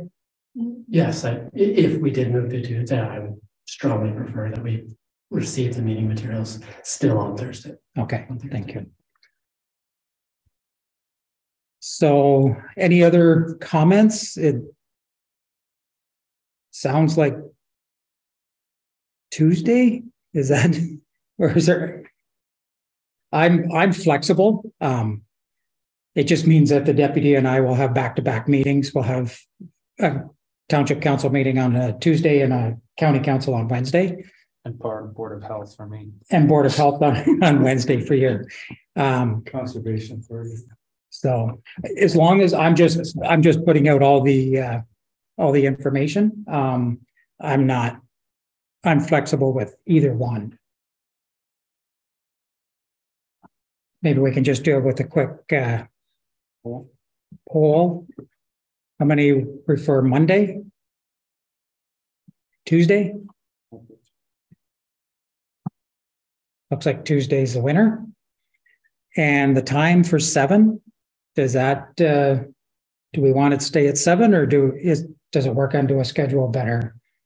If we start a little earlier, it's, if it's earlier, our closed session, if we have one, is before the council meeting, so it could push it further ahead unless we change that in the, in the procedural bylaws. Well, We could do it after a regular meeting. Deputy? Um, as speaking someone who's resident of Amherst Island, it being on the hour is probably better. Um, and for future counselors from uh, the island, simply because when the boat arrives, it can be, if it starts on a half hour, getting from Millhaven to uh, to Odessa and get your materials set up and whatnot, it's a bit of a rush. So I think it's starting on the hour is better, whatever hour that happens to be. Okay, good point. Councillor Parks. If, it- excuse me, if it's possible to start at six, that would be my preference. Um, I find sometimes when the meetings go until ten o'clock and then we have to do the procedural, procedural change to go past that. Um, when you're getting to ten o'clock at night, your mind is not as sharp as it should be in dealing with matters. So I'm not sure if that's an option for other. So options put out for six, how does that work for other schedules? Some Children? some, some that, you know. Depends on what you're, if you can get back from, you know, work and what, Just, uh, well, and just a, a question that I think plays into the, um, discussion we'll have later with the community as a whole. Um, and tagging that onto a council meeting, if we were to switch the council meetings to six o'clock. Then when, how would we tag on the committee of the whole meetings? Those council meetings, We'll be that? option there. Through your worship, so that would be part of, the- of the agenda and it was just Or formed. just, It would, they would still start at six, yeah, we won't start any earlier. Councillor Willis. So if there were closed, the close would start then at five, or we would just start at six if it's closed or six if it's open? Go ahead. my understanding from this is that you want it to start at six, uh, for closed. it would depend on.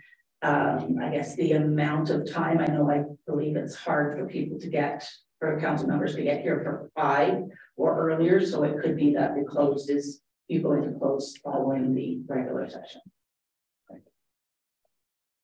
We used to do that and then we moved it ahead. Um, there is the chance that it looks like it'll be a long closed session and it's not. And so we, we wait until open, but, uh, that's another option. We could put it at the end. Hmm. Any other comments between the, for the time? Do we want to do same thing, just a straw, straw poll? Um, six o'clock, who likes that? And no sense in asking the seven. Six o'clock on Tuesday.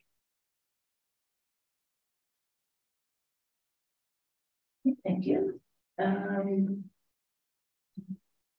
Next is special counsel. So these are um the under forty A or B of the act having the same uh privileges as regular council meetings. So these would be called uh on an as needed basis if there's something that needs to be done. And or if there's um I sometimes planning may have something that uh, requires, so they're just uh the uh, the mayor may call the meeting. The clerk on receipt of a written request of majority of members of council.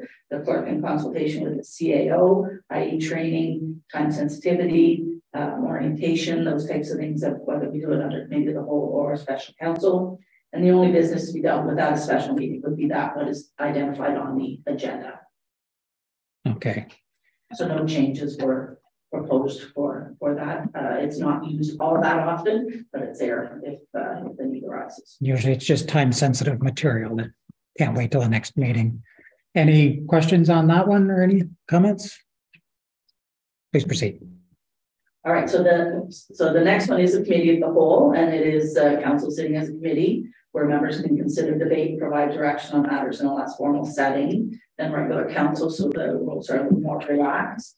Um, uh, the committee, sorry, uh, at this time, our meeting um, following the committee of adjustment on Mondays, on the first Monday of each of the month. Um, and then at the time it was whether there, whether there was agenda items of whether the uh, committee of the whole would uh, would proceed or not. So if there was no matters, the committee of the whole would be would be canceled, similar to committee adjustment.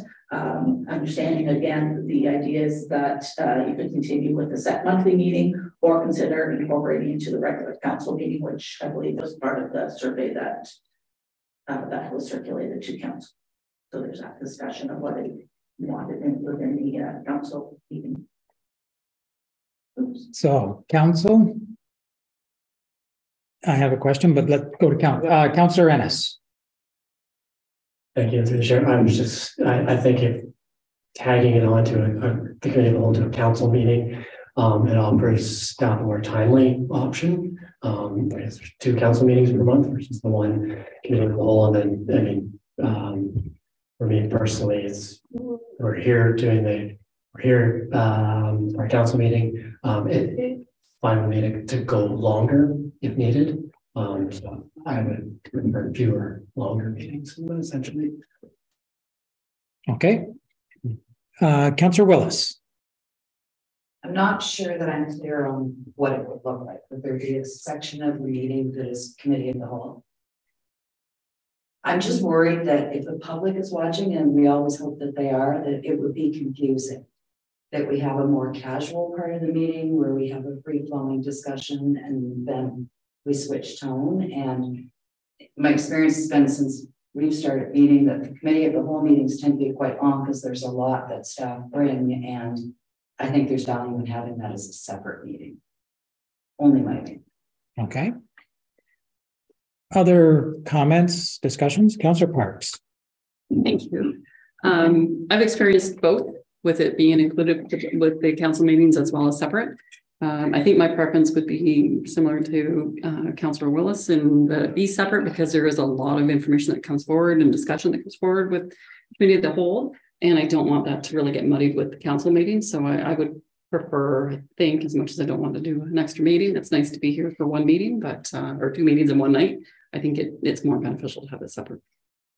Okay. Councillor Broderick, did I see your hand? You did. Um, I like the idea of less, and I'm thinking more of the people out there that, you know, would cut your evenings down by at least once a month. Um, having said that, if that wasn't possible, I would look at moving it to Tuesdays, similar to the council meetings. Consistent on that. Okay. Councillor Boudreau. Um, with uh, Councillor uh, Longer if we have to, fewer. And like uh, Councillor Broderick said, Caesar and staff, fewer nights. Nobody's got their hand up. I'm going to ask a question for clarification. I, I don't like to jump in before others can say their, their piece. The format for it, um, I just want to try and get it clear in my head. Um, so if it was on the same night, we would call the council meeting at six o'clock. And with the doing it on the same night, would it be would and would the, either one of the meetings be able to be shortened, or would we have the same length, which could make a four-hour meeting? I'm just trying to figure it out. Like with the committee of the whole right now, so what we're doing tonight, it'll come back to the net to a council meeting and be approved. The recommendations that come out of this will be approved. So I'm I'm trying to picture it. Would the council meeting be reduced potentially and more items in the committee of the whole? And then that the re, the committee of the whole would come to the next council meeting to be approved. I'm just trying to I'm trying to figure out if we're adding two. Of course, well, we would have two committee of the wholes instead of one. So it'd be half as much on each agenda, potentially. I'm just trying to make sure we don't end up with a six hour meeting. Yeah. To put it blunt, like that's. Yeah, so typically the, your committee of the whole again is, is in less formal, so the, any of the recommendations are not recommendations until they're ratified at council. So the idea would be your meeting at the beginning of your council meeting is going to be ratifying the committee of the whole from the previous meeting. And then you're then once you're done your regular meeting, then you move into committee of the whole and have that discussion, but you would still have your staff reports on that Everything within the regular session. Okay. So the, the savings in time would be two committee of the holes a month instead of one. So we might end up with one or two items instead of a number of them potentially. Okay. CAO? Don't mind worship, if I can speak this because this was kind of my idea, actually. Um, I don't cause a lot of problem, but, uh, with staff, with only having one committee in the whole month, it does sometimes, um, unfortunately delay some staff reports because stuff is not quite ready for that one, so we have to wait a whole other month for it. So the idea was that if it was part of, of council, and, and it wouldn't be just another agenda item, and it may, there may or may not be committee the whole. My experience too is, is to answer Councillor Willis' point is that the chair changes and the deputy mayor chairs committee the whole.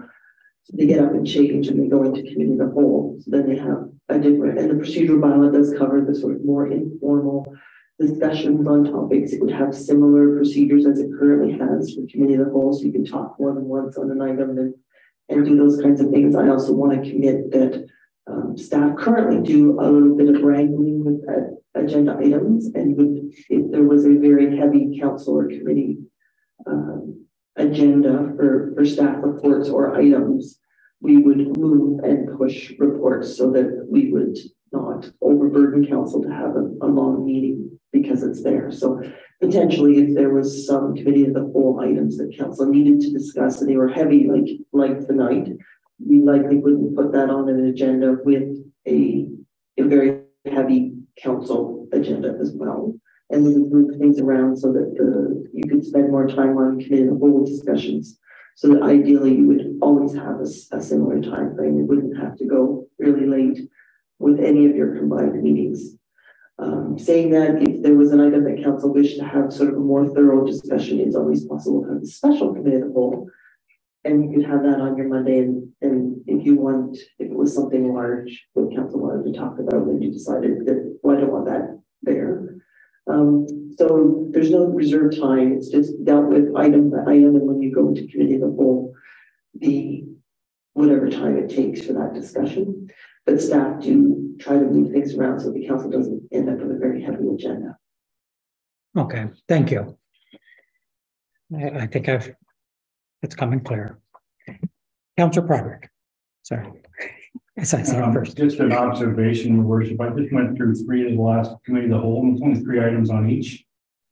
Um, you know, um. And all of them seem to be, uh, um. I would say internal situations, you know, the, the community hub, what we're doing tonight.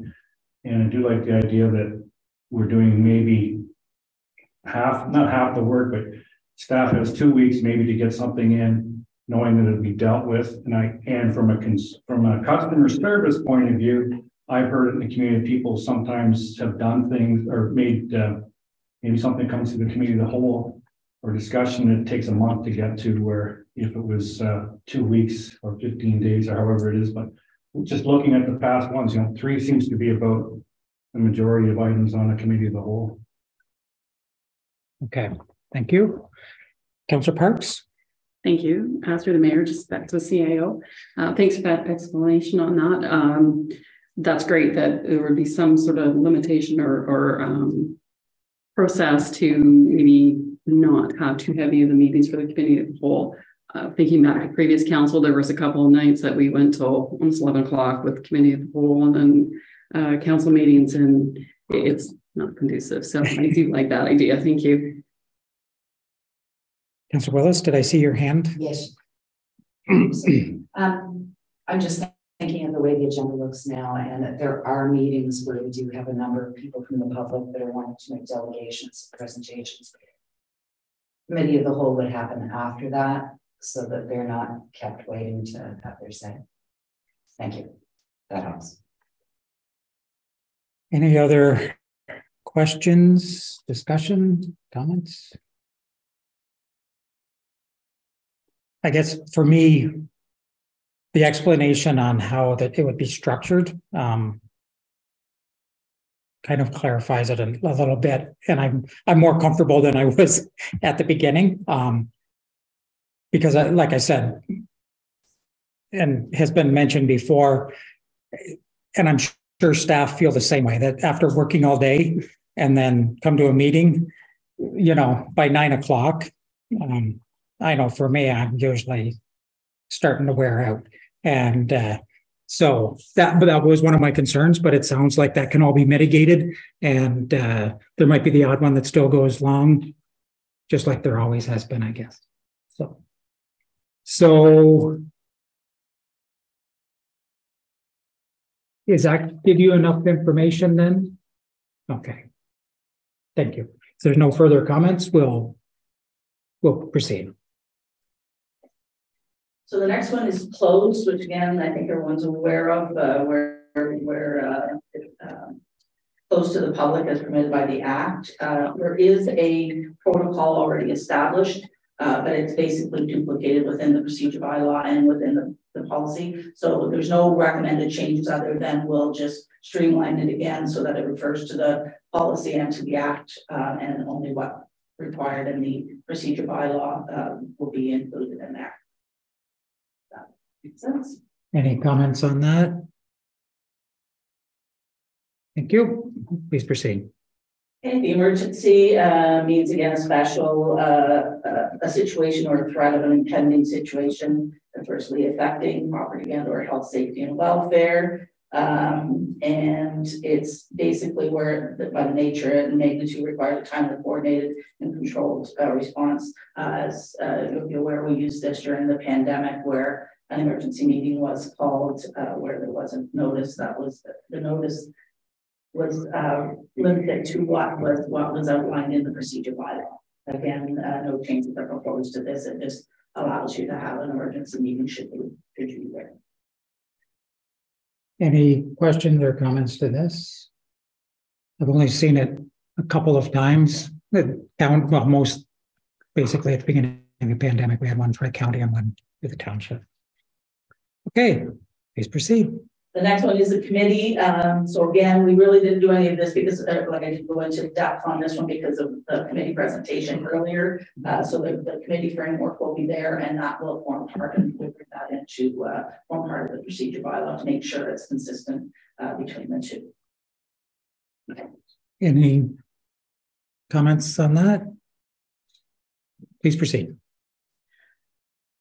Uh, next one is public meeting, and these again are, public information sessions held by the, the corporation. Uh, no changes are uh, proposed for this as well. So this is where uh, it's uh, presented that public input is encouraged, uh, could be held within a regular council meeting or maybe a separate meeting depending on the subject matter, i.e. the planning. I know there was presentations in regards to um, the Amherst West secondary plan, those types of things. Um, and sometimes they're also referred to as like a town hall type meeting. So it just allows for uh, the ability to have those.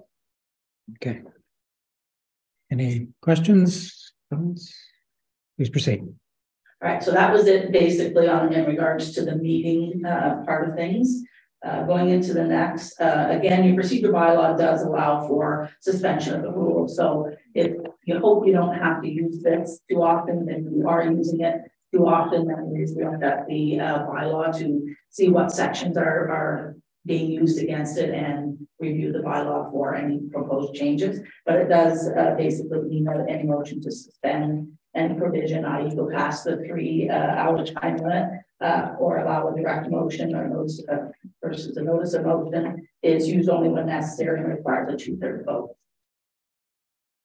Any, no changes that. any comments, questions on that?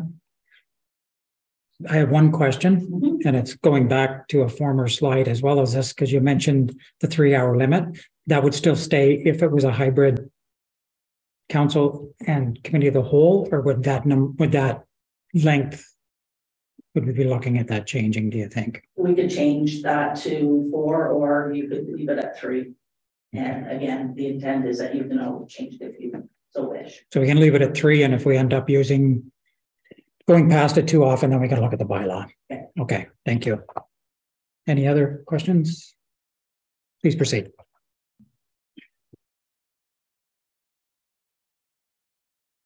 Uh, okay. So the next one is electronic media. So this originally spoke to the audio and video recording of council meetings. This was pre live streaming or any of that. Uh, we did have, uh, uh, some, um, signs on the door that basically, uh, spoke to what was allowed in the council chambers. Uh, now with live streaming that, um, is basically can be removed from the bylaw, although we do have to, uh, incorporate of, our live streaming. So there is a section that speaks to it, but we'll want to incorporate more, uh, in-depth, details in regards to that. Uh, so council committee of the whole and committee of adjustment meetings are being live streamed at this time. Uh, some committee meetings are being recorded and then uploaded. A lot of that is based on the uh, staff resources, the setup, uh, where the meetings are taking place, those types of things. Uh, that somehow, somehow, sometimes, sorry, limits how we would be able to live stream. So right now we do have a, a movable camera, but uh, the the room here is going to be um, with cameras and, and that which does allow for the live streaming more readily than uh, if we move them around. So, and then a protocol uh, regarding live streaming will be created as well. Uh, so we did have one that spoke to the um, processes for joining a meeting if the meeting wasn't working. That will be updated as well. And uh, again, not be part of the procedure bylaw, but will be a, um, a protocol to, to uh, support it. Okay. Any questions on, comments on those? Councillor Willis. So currently the procedural bylaw says that no one can record. Are we getting rid of that completely? And so anyone can walk in here with a camera or recording device, do whatever they want with it. Okay. Through through the chair. So before it was a matter of if council wasn't recording um, some. I think the idea was if somebody else was recording it and then they would come to council. If you don't have a means to go back and, and verify what you said, it was it was just harder. So I think that was why, again, I can't speak to it because it was before uh, uh, I had originally come, but that was the idea of not uh, allowing or I think they had to ask for permission to record. Um, I don't know that it was ever denied uh, that I'm aware of, but right now, because we're live streaming, it's recorded and being live streamed, so the need's not there to limit anybody coming in and not being able to report. And just to answer your question about the only time that we did we did allow it, um, mostly it was a reporter would bring a video recorder and put it on the seat beside them. But every single meeting they had to ask permission. Council granted it and then they could record it for uh, for their media outlet. Um, other than that, it was never really an issue. Um, there was always concerns about clips being used appropriately, but anybody can go to YouTube now and watch the real meeting and know what happened. Any other comments, questions on that? Seeing none, please proceed. Um, the next is the electronic participation. So the original or the bylaw, sorry, the bylaw does speak to it. However, it was again uh, written uh, prior to the pandemic, so it was limited in the procedure bylaw to what the legislation had allowed at the time. Person uh, per meeting, those types of things. The idea would be is to incorporate the changes that were uh, given to the uh, in the legislation to allow councils to have live, uh, or sorry, to have um, electronic meetings and participate electronically. So those procedures will be updated to reflect that. And, and then again, the processes will be separate under a protocol to outline what that looks like. Okay. Any questions or comments? Councillor Broderick. Um, through your worship, just a generalized question. Um, in terms of participation, is there any uh, theoretically could I be on for a whole year do it from home? throwing it out there. Good question. Uh, I don't believe it was, I don't believe anything's stipulated in the current, but it might be something that we would incorporate as, as uh, some limitations in regards to that. I believe it's silent on that right now. Um, the way I the way I thought it was intended was it would be live unless there are extenuating circumstances. You know, if somebody's not feeling well, but they're, so they don't want to come into the room and spread it, you can join or on vacation or something like that. Um, that's the way I understood it, but I think we're silent basically now. Yeah, I agree. I we'll just make sure that that wording's in there to ensure that it's, the intent is, is that it's in person with the uh, ability to participate in. Yeah. For some reason. Okay. Any other questions or comments? Please proceed.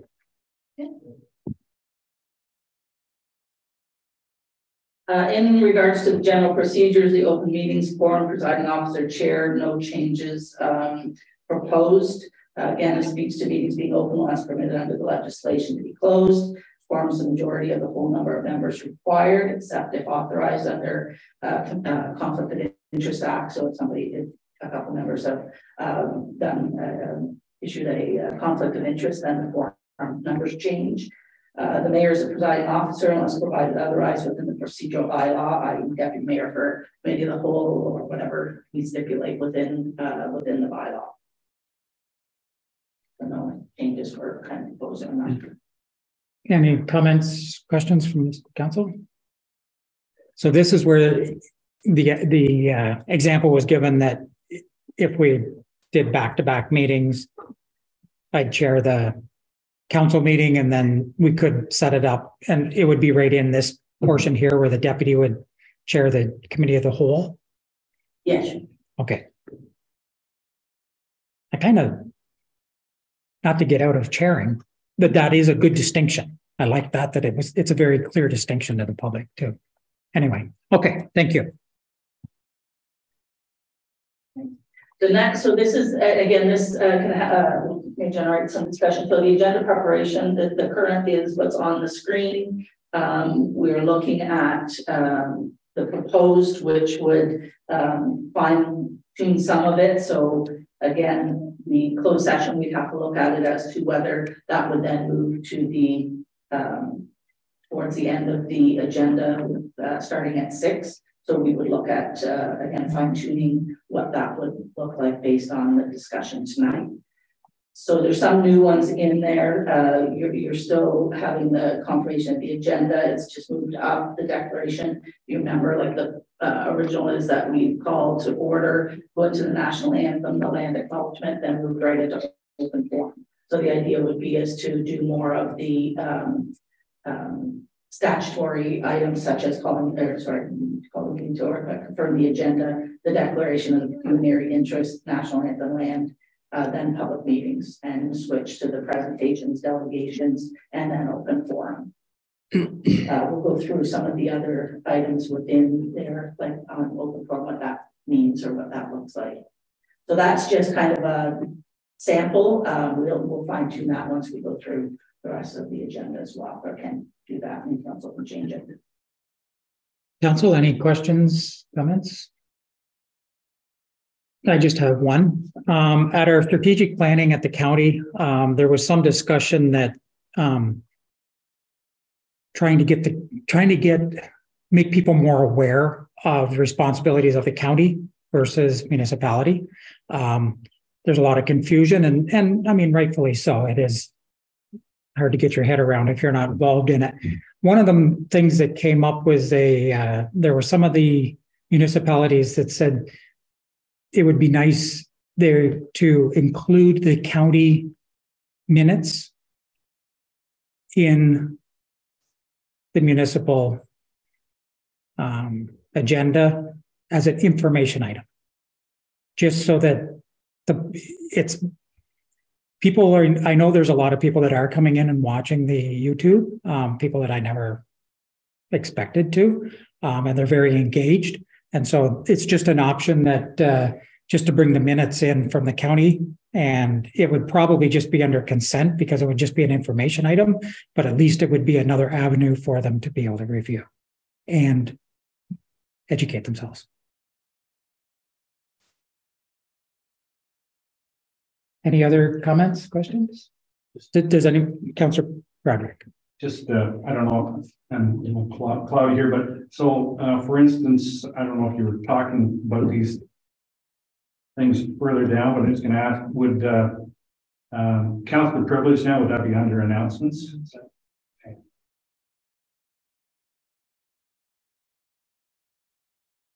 So, your worship, it is again trying to be cognizant of the, of the public who are looking at agendas and, and whether they would know what members privilege is. I know it was un- under the definition, but it's just, again, to try and, and make the agendas more, uh, public friendly or user friendly. I like the idea of simplifying it and making sure, same as I was always in camera. Yeah. Everybody thought that you went in a room that had a camera and it's actually a closed session. So just stating it very clearly, it's a closed session is a good, good item. Councillor Parks, I just wanted to say, I think this is a good forum. I think it's very clear and very concise uh, to help the public. And, and through your worship, of course, well, this will change with uh, incorporating the committee of the whole in it as. So there will be changes. So as, like I say, as we're getting the information tonight, if this will change, but it'll come back to council to have further discussion on that. okay. Any other comments? Please proceed. Uh, so the minutes, um, it basically speaks to council specific and, uh, so the idea would be refer to minutes, uh, removing naming of staff members. Um, sometimes it's hard to, on that part of it, and I don't know that it adds, um, anything to the minutes per se, because it is council meetings. And that the minutes, uh, are presented on the next agenda, so council gets a copy of, on the, um, the next agenda where they approve them. So it's just minor amendments that would be suggested in this section. Okay. Counselor Broderick, Through you, your worship. Um, so I have no problem with re- removing staff members' names. Would their position be listed, like if, if they're recorded in the minutes, you know, director, planning, nothing at all? Yeah. So no reference to any, um, any staffs answering the questions or anything like that? Uh, there is with, sorry, through the, through the chair, I mean, it's without note or comment. Uh, you'll notice even in the minutes, even if a council member asks, we keep it that it's what the question is or what the comment is, not the, um, not the idea that it's, you know, Councillor Project asking a question, Mhm. uh, because it is without note or comment.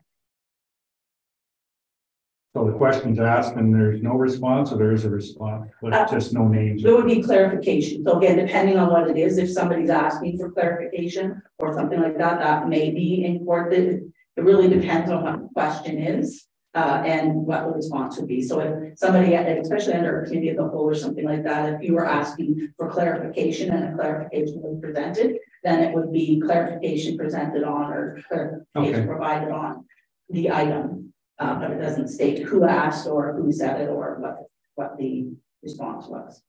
Thank you. any other questions, comments, discussion? So I just have a follow-up question. So removing the staff members' name, they wouldn't be in the attendance at the top either then? It would be just silent or just, just in the minutes, they wouldn't be included in the discussion? They're not, for, for the most part, they're not, uh, mentioned throughout the meeting anyways. It's Mhm. just saying that they were there. But I mean, it's listed under the staff report and that type of thing of, of what, and then again, on the live recording, it would show who, who was speaking. So that they wouldn't be in the attendance line at the top, then it'd be removed from there. Okay, just want to make sure I had it clear. Okay. Any other? Please proceed. Uh, the duties and roles, so, um, and they're provided in the municipal act, so this again, uh, the idea would be. Uh, without, uh, having to, to, um, put them in twice, like it's already outlined in the municipal act. So just to remove them from the procedure bylaw, again, it's, it's minor, it's just to try and consolidate your, your procedure bylaw, so it's not fifty-four pages long type of thing. Um, there's not too often that a person would have to go there to find out what the duties are. If they did, the sections are there in the municipal act and we'd be able to get that. So it's just proposing to remove kind of those sections. So all three sections would be removed completely then and just refer to the municipal act. Okay. Any questions or comments on that? Please proceed. Uh, the declaration of the pecuniary interest, so similar in that it's a member's responsibility. There's the integrity commissioner, so uh, propose that there's no change. Uh, the section may also, again, I was saying, uh, section may also be repetitive and redundant as it falls within the Municipal Conflict of Interest Act. However, it's a quick reference should members of council want, so it's not in totality, but it is, and we can look at it again to see whether we can confine it or, or condense it so that it's, uh, again, a little smaller. So it'd just be a concise summary then. Okay. Anything on that? Comments, questions? Please proceed.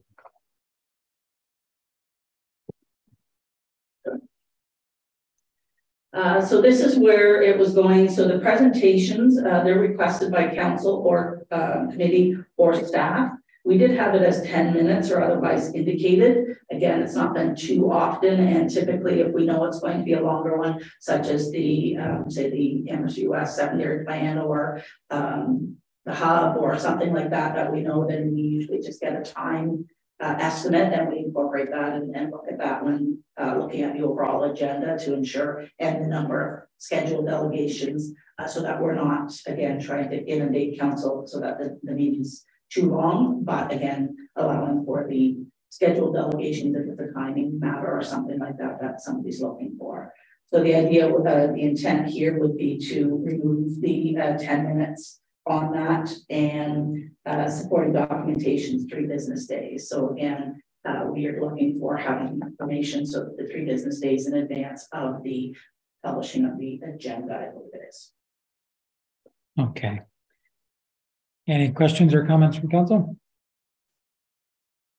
Please proceed. There's also a protocol on this, like in more uh, detail. Again, it's kind of duplicated in, in incorporated as part of the procedure bylaw and the protocol, so we'll be doing one or the other. Yeah, I'm just trying to find tune that. The delegation, so again, this is uh, give notice and, and disclose subject matter. Uh, so there's a form that they need to fill out uh, to be sent in uh, five business days, um, and they have five minutes. Uh, there's no, uh, there's a the protocol written again in full on this. It's kind of in both fine tune it, um, but they're um, not. There's no uh, recommendation for any uh, amendments at this one. Councillor Willis. This one I struggle with because the agenda comes out on Thursday afternoon. The meeting is Monday or Tuesday. That means if a member of the public sees something on the agenda that they want to present as a delegation on that topic, they don't have time to get themselves. And so now we're limiting them from being able to speak for five minutes to three minutes because we're forcing them into open forum. So I'd like some discussion on this. Perhaps I'm not understanding what the purpose of the delegations is. Okay, um, do you want to start or do you want? Do you want to speak to it? Well, no, I was just, when we had this discussion previously, the de- delegations weren't necessarily items that were on the agenda. It would, it could be anyone bringing, um, didn't even need to be a concern, just bringing information to, to council.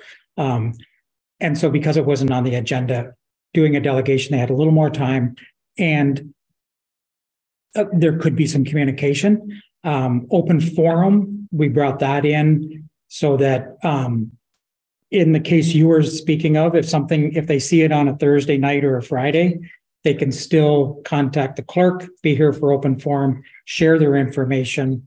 And yes, it's a little shorter. I mean, I try to keep it close to the three minutes, but they're still able to present their thoughts to council for consideration when it comes down to the item. So that was the, the historical how we got to this here. Again, a delegation has the opportunity to have their materials included in the agenda so the council are able to see them before they speak, whereas open forum, we don't have that opportunity. And I, I'm just concerned that, you know, I, I have been in a position as a member of the public where I've received the agenda and realized that I don't have an opportunity to speak on it properly because the timeline is is contrary to what our timeline is for publishing our agendas. Um, I just have a question related to that. If, if somebody wanted to, in that scenario, they saw it on a Friday, there was an item they wanted to speak to an open forum, if they sent you material to the clerk's department, it could still be emailed out to council ahead of the meeting if it's received in time? Through your worship, yes, we could, uh, we could do that, um. And, and forward it, out, yes. As long as you had it, as long as the clerk's department had it in time to be able to forward, you could. Again, it would depend on the council members' schedule, whether they would actually be able to read it or not, but. And most of the time, through, through your worship, uh, most of the time on that, uh, the individual is copying all of council. Anyways, on the item, uh, if, if it's a timing issue, especially if it's on an agenda. Uh, so we always kind of look at that to see if it's been copied to all of council, if, if it's a written, um, a written submission.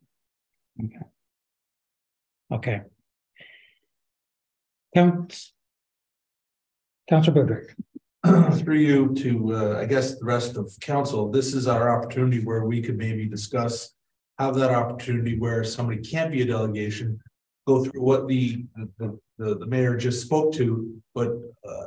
I guess we can come to a consensus now to give you as the chair, uh, a little extra leeway for time. In that situation, uh, where they couldn't become a delegation and are only listed as an open forum, that you could you know, let them get past the three minutes and go to five or whatever. I mean. I know it's, a st- I know it's a strict rule. I get that, but if we could talk about it now, Yeah. we could, this is that time. That's all I'm saying. Yeah, and uh, I have, I'm, I'm, I try to be as lenient as I can, as long as, you know, there have been times that I've let them go on and then I'll say, okay, you're past your time. Could you wrap it? You know, present your final comments or something like that. I try to do it as politely and not just three minutes, it's cut off. But yeah, I don't know, do we, I don't know whether does that need to be written in anywhere or is that just the flexibility that the chair can uh, can use? I've just, I've just assumed that flexibility, I guess. Through, through the chair, I mean, it would basically be waiving the procedure bylaw to allow. Because other than that, if you, again, leave one without doing that, uh, resolution, again, if it's like, I, I mean, you'd have to play it by ear in regards to timing, if they're, you know, thirty seconds over, then. You know, it doesn't make sense, but it'd take more to, to do the resolution to, uh, to look at waiving it, but again, the idea is, is that, that you have that opportunity to waive that section. If there's, you know, um. Information there that allows you to think that the. Open forum presentation is going to take longer than the three minutes versus five minutes. Okay. Counselor Parks. Thank you. I assume this is probably for the clerk. Timeline in order to get the email out to council. Um, so if somebody saw the report on the weekend, Monday morning, you would have to have that. So in order to hit the council on Tuesday, whereas before it would have to be Friday, and now that we're actually changing council to Tuesday, they actually have an extra day to digest that and get the information out to you. Okay. Through your worship, that would, that will, yeah, we'll have to look at that and, and come back with some recommendations. On what that will look like with the now going to the Tuesday and, uh, the timelines on that. So we can incorporate some suggestions in there. Okay. Counselor Broderick. Uh, a couple of comments, your worship, having been on both sides of this uh table here. Um, the delegation that um around uh second year of COVID with minor hockey, we came to the delegation. That wasn't on your agenda. Um, know, I think council listened to that. I like the idea of the uh, open forum being limited to things that are on the agenda specifically, so we don't end up with and we, in my short time here, one item that seems to come back and back and back. Um, I think that's a, that's a good thing. Uh, as far as, uh, you know, here in Council Willis, I get the idea that, I guess my one concern about the open forum is, um, does that does that restrict? So I'm the first person that wants to talk about, uh, oh, you're building a giraffe park in the north end. So does that mean nobody else can talk about the giraffe park? Or, you know, that would be my worry. Or can we can talk about the giraffe park all night theoretically if it was on the agenda?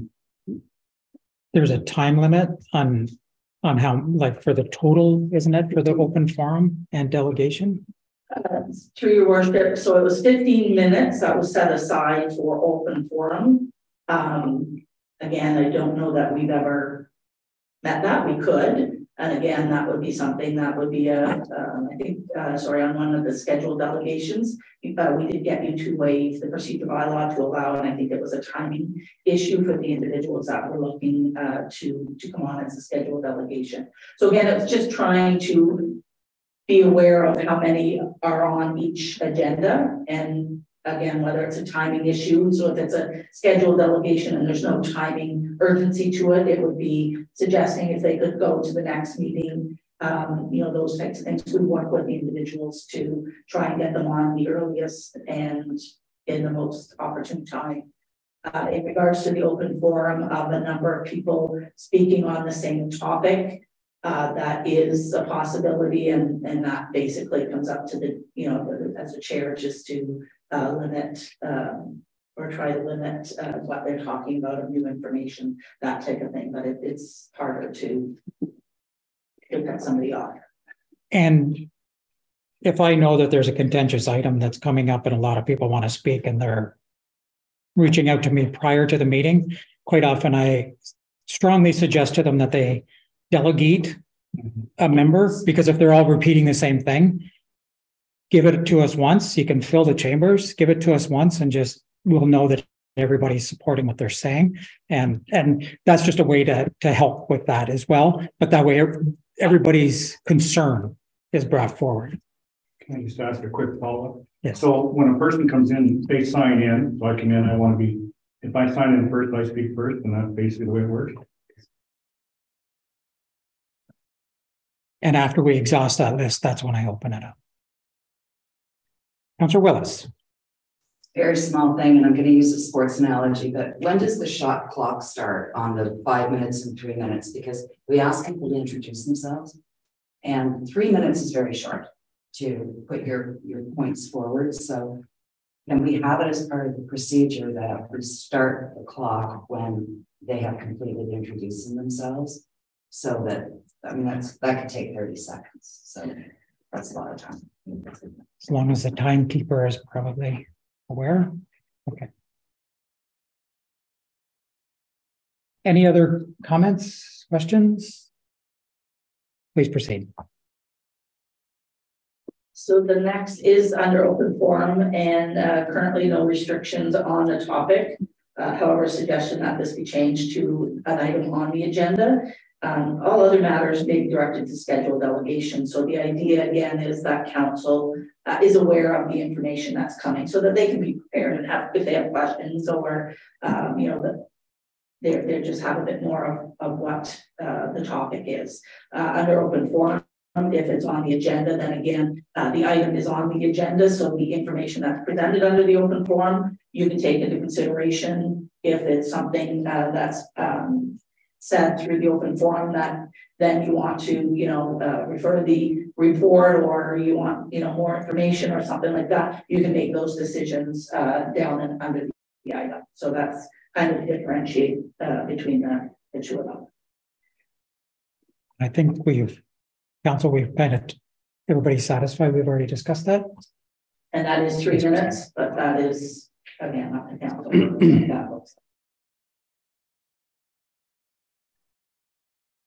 So we'll leave it as is, and then again, you have another, we get down here there.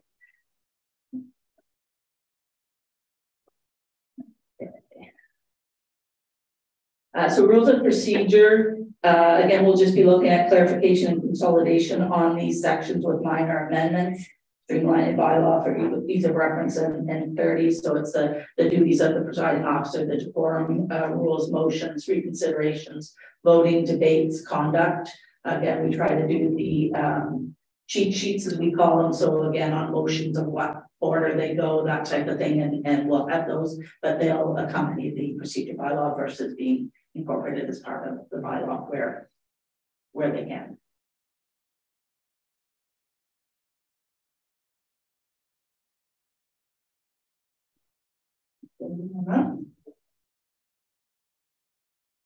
Any questions or comments? Please proceed. Okay, so the committees and local boards, again, uh, very similar with the, uh, committee framework, so we'll look at that and incorporate any of the changes that we've had this discussion as part of tonight's, uh, session. Everyone good with that? Please proceed. The schedule, so, uh, they were scheduled of the, of the current procedure bylaw, but we'll be looking again at doing those as protocols versus, um, schedules. Uh, so the closed meeting, uh, correspondence policy, so again, that speaks to when information, uh, comes into the, into the uh, organization on agendas, whether it's, uh, for decision, whether it's for, or sorry, for consideration, or whether it's for information. Uh, presentation delegation, open forum policy, and then the citizen appointment policy, which was highlighted again under the uh, committee. So we'll be looking at those and making sure that where we can administratively set it up, uh, it will be, and if it's um, um, that there's no duplication, that that everything's um, the same. Okay. And clear, just taking them out of the schedules. Please proceed. Um, other changes proposed is special, okay, so we're basically at the end, so those are the main highlighted areas. Um, but like there are other separate reports with the other part of the bylaw. It was hard to put everything in because again, the idea is that uh, the bylaw will be uh, created in an accessible format. Uh, and it'll be streamlined so that it'll be easy to follow uh, with an index and uh, then the protocol uh, will be separate. Uh, that would come in. The idea would be it, of course, it will be um, electronic, but it would also uh, give council a written, uh, a printed copy in a booklet form so that you would have it. Uh, the cheat sheets we uh, can provide you uh, laminated and they can be left here. I know there's no kind of drawer, but we can leave them or put them out each meeting just so that it's easy for council to go through on those. So it's just basically opening up here that if there was any other discussion. Comments that wanted uh in regards to the bylaw, what works, what doesn't work. Council, any other items in the bylaw that you wish to discuss? You've got. It's a bit of a burr for you. Um. I've got one. Um. Electronic voting system. We're not set up for that. Do we Not need to yet. have that in there? Because Uh, basically that's a recorded vote every, every, Yes, so Cool. within iCompass, it does allow for that, and we had written it into the procedure bylaw. If we ever went to the electronic voting, uh, we hadn't at the time, but if, if we do go there, it's, it will allow us to do that. okay. I just. When we're cleaning it up, I thought, I don't foresee us going that way too quickly, but I guess we could if it's in there. Okay. Um, I have some other um, items that I, when I read through it again today, it was actually good because it forced me to read the whole thing page by page again. Um, and you think you know something until you do that. Um, there's a few things in here that just, again, I, terms and that that I've never heard used since this was written, but I can just bring them to you and if it's, I'm just looking at it, if, if we haven't used it in the last four years, it may not be required. Just to can clean it up a little bit. I can send them to you though another time. Um, anything else from council?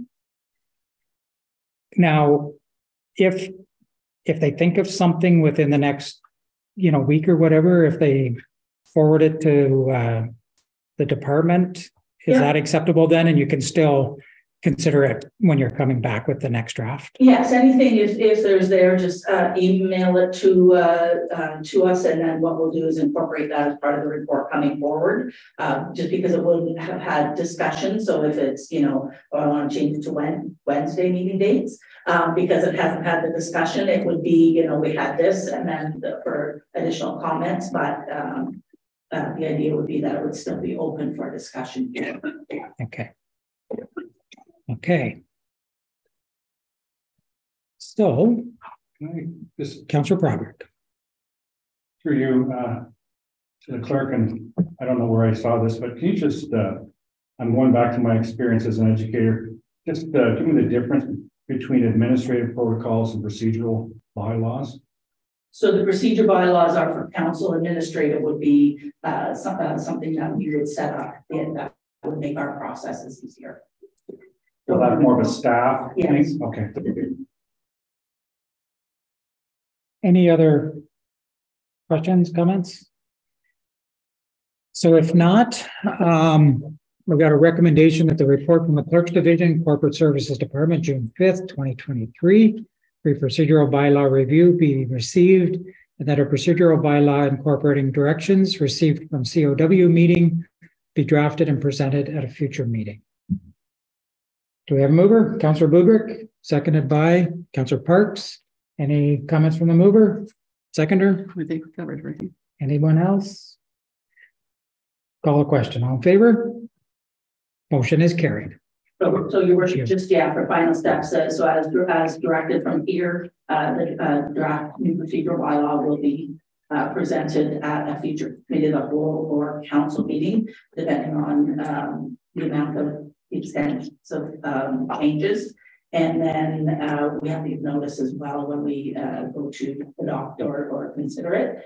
And at that time as well for the report, it would be looking at like when we when the changes will be made, especially on the change of, of dates and that that'll come through as part of the, uh, of the report. Okay.